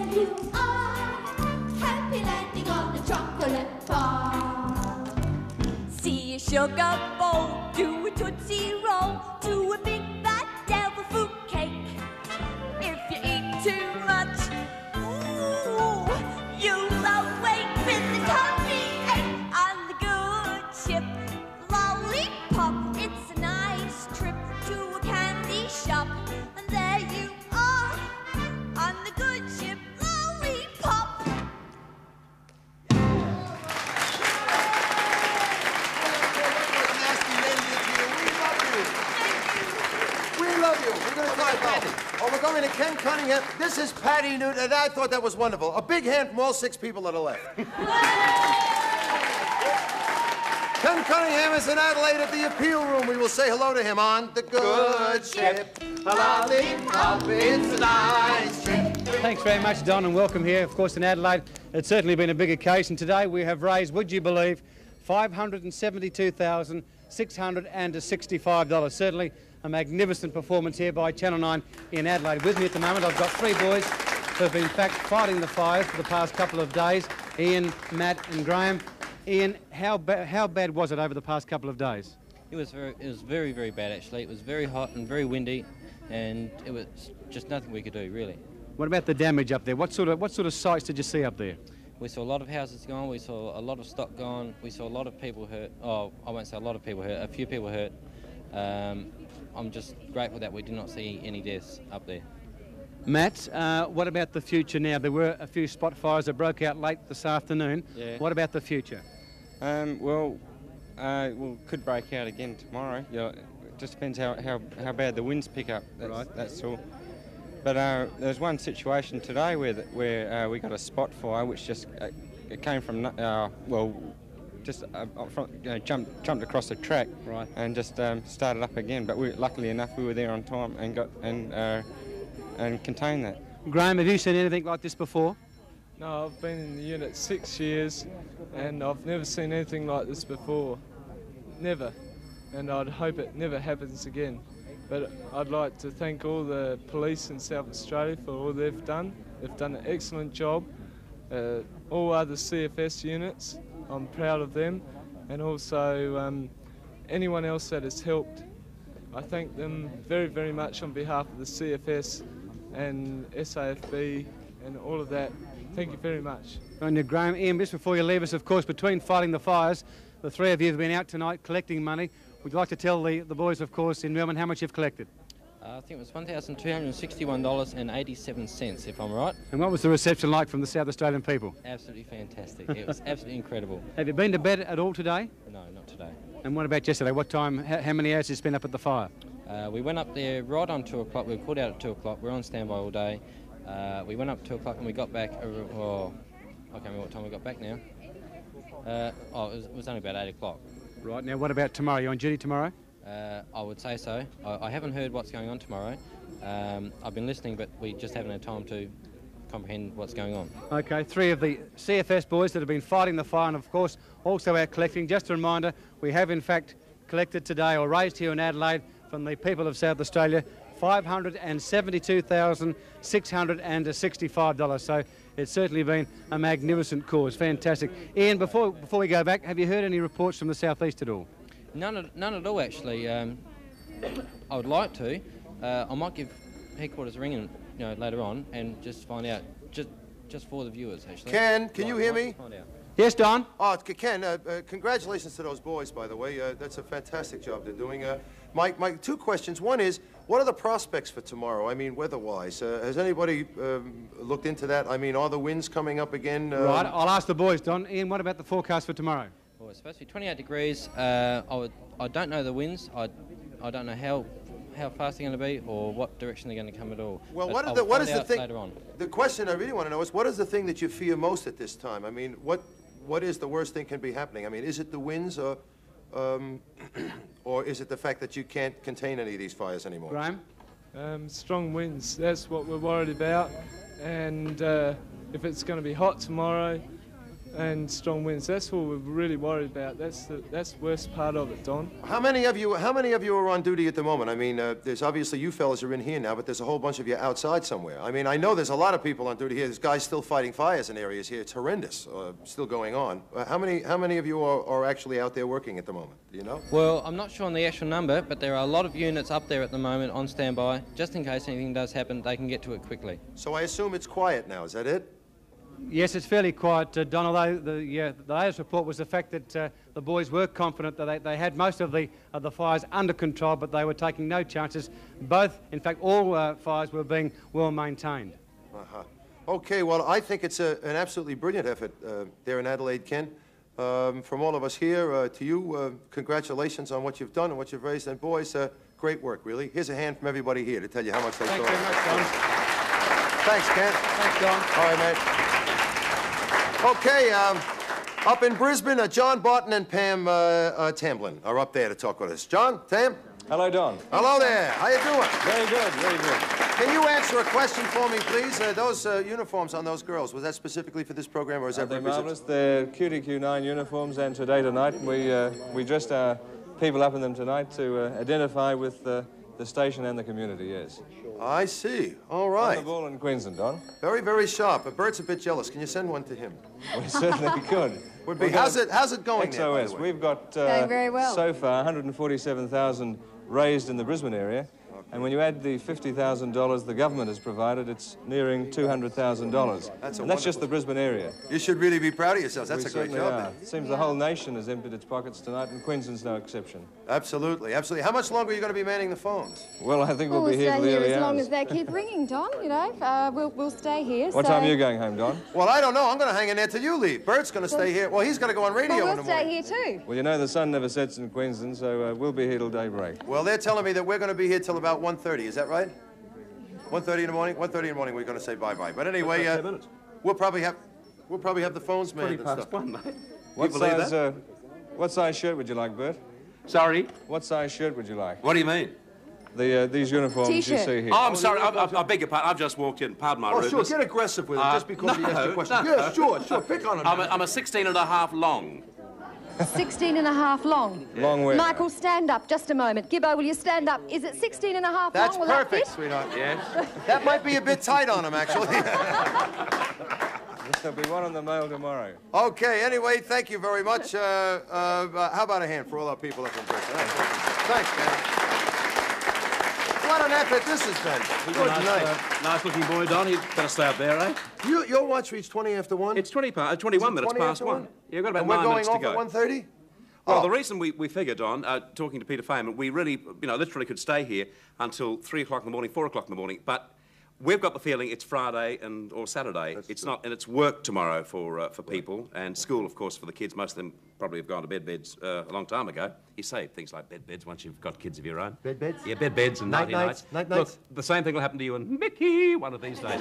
so at 1.30 we thought it was fair enough time to, uh, to get off. okay. 1.30, we're going to go off the air. Please, how about one last big surge, all right, from all of you who haven't made anything yet and made any donations yet. Give us one last push, will you, to 1.30.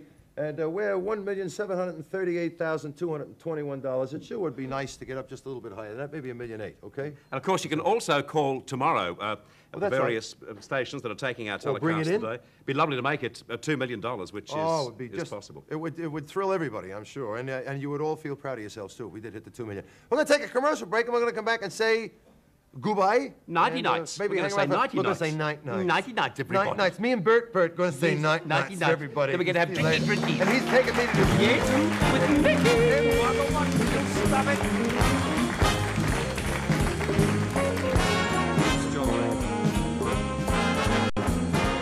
Thank you very much for joining us. We've got uh, all our people back here. Uh, well, a lot of them have uh, have gone. This is uh, Change for the number, Don. this is the Hear my voice? Where you are? this is the this is the nucleus of uh, what we have left. The real stayers here. Uh, we thank everybody for joining in this, and uh, believe me, the total has been uh, astounding for us. And here's uh, we're gathering together some of our audience as well, the people that have uh, stuck by us and stayed with us. This is a song that we usually close the end of the year with, but we think it's, it's applicable here. And it says a lot more than, than what I could probably say. Uh, the two numbers, by the way, I've been reminded by Bert that Sydney and the Melbourne number are available 9 o'clock, 9.30 tomorrow. That Yes, that's the 11659 number. It will be inoperative once we go off air, uh, but uh, it comes back in Melbourne at 9 o'clock in the morning and in Sydney at 9.30. I won't get a chance to say this before uh, you sing your song. Lots of people have been thanked, but I think also, too, I think particularly the people who've worked uh, on the, the floor here tonight and the people up in the control room and all the, various Salasini chains and, uh, and whatever, they've worked so hard, but also one person who has uh, done a, a comparing marathon tonight is Don himself. Well done, Ah, mate. thank you very much, to you. Bert. They'll- they'll take it. Also, uh, thank you. Thank you very much, gang. Um, uh, I don't know any place else in this whole country that could have done this or made all these hookups or anything, and that's because we got the best working here. We always brag about them, but why shouldn't we? They are, okay? 1,868,404 bucks. I'll tell you what, that's all I find out.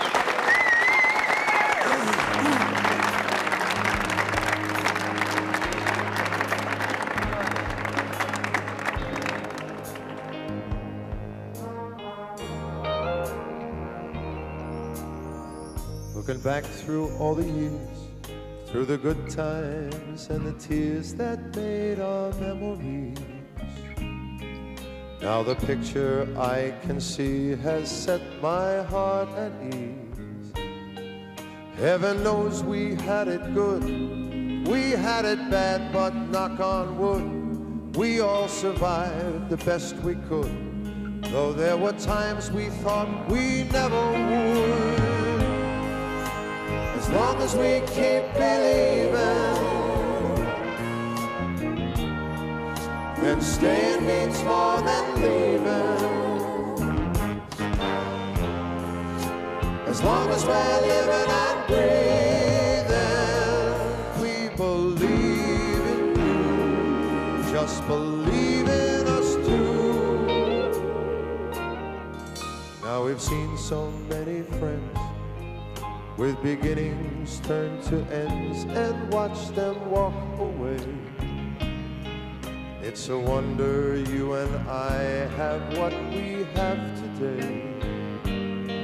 Cause heaven knows sometimes we swore we had enough, but thank the Lord, we always stop one step before we took that step that took us out the door. As long as we keep believing,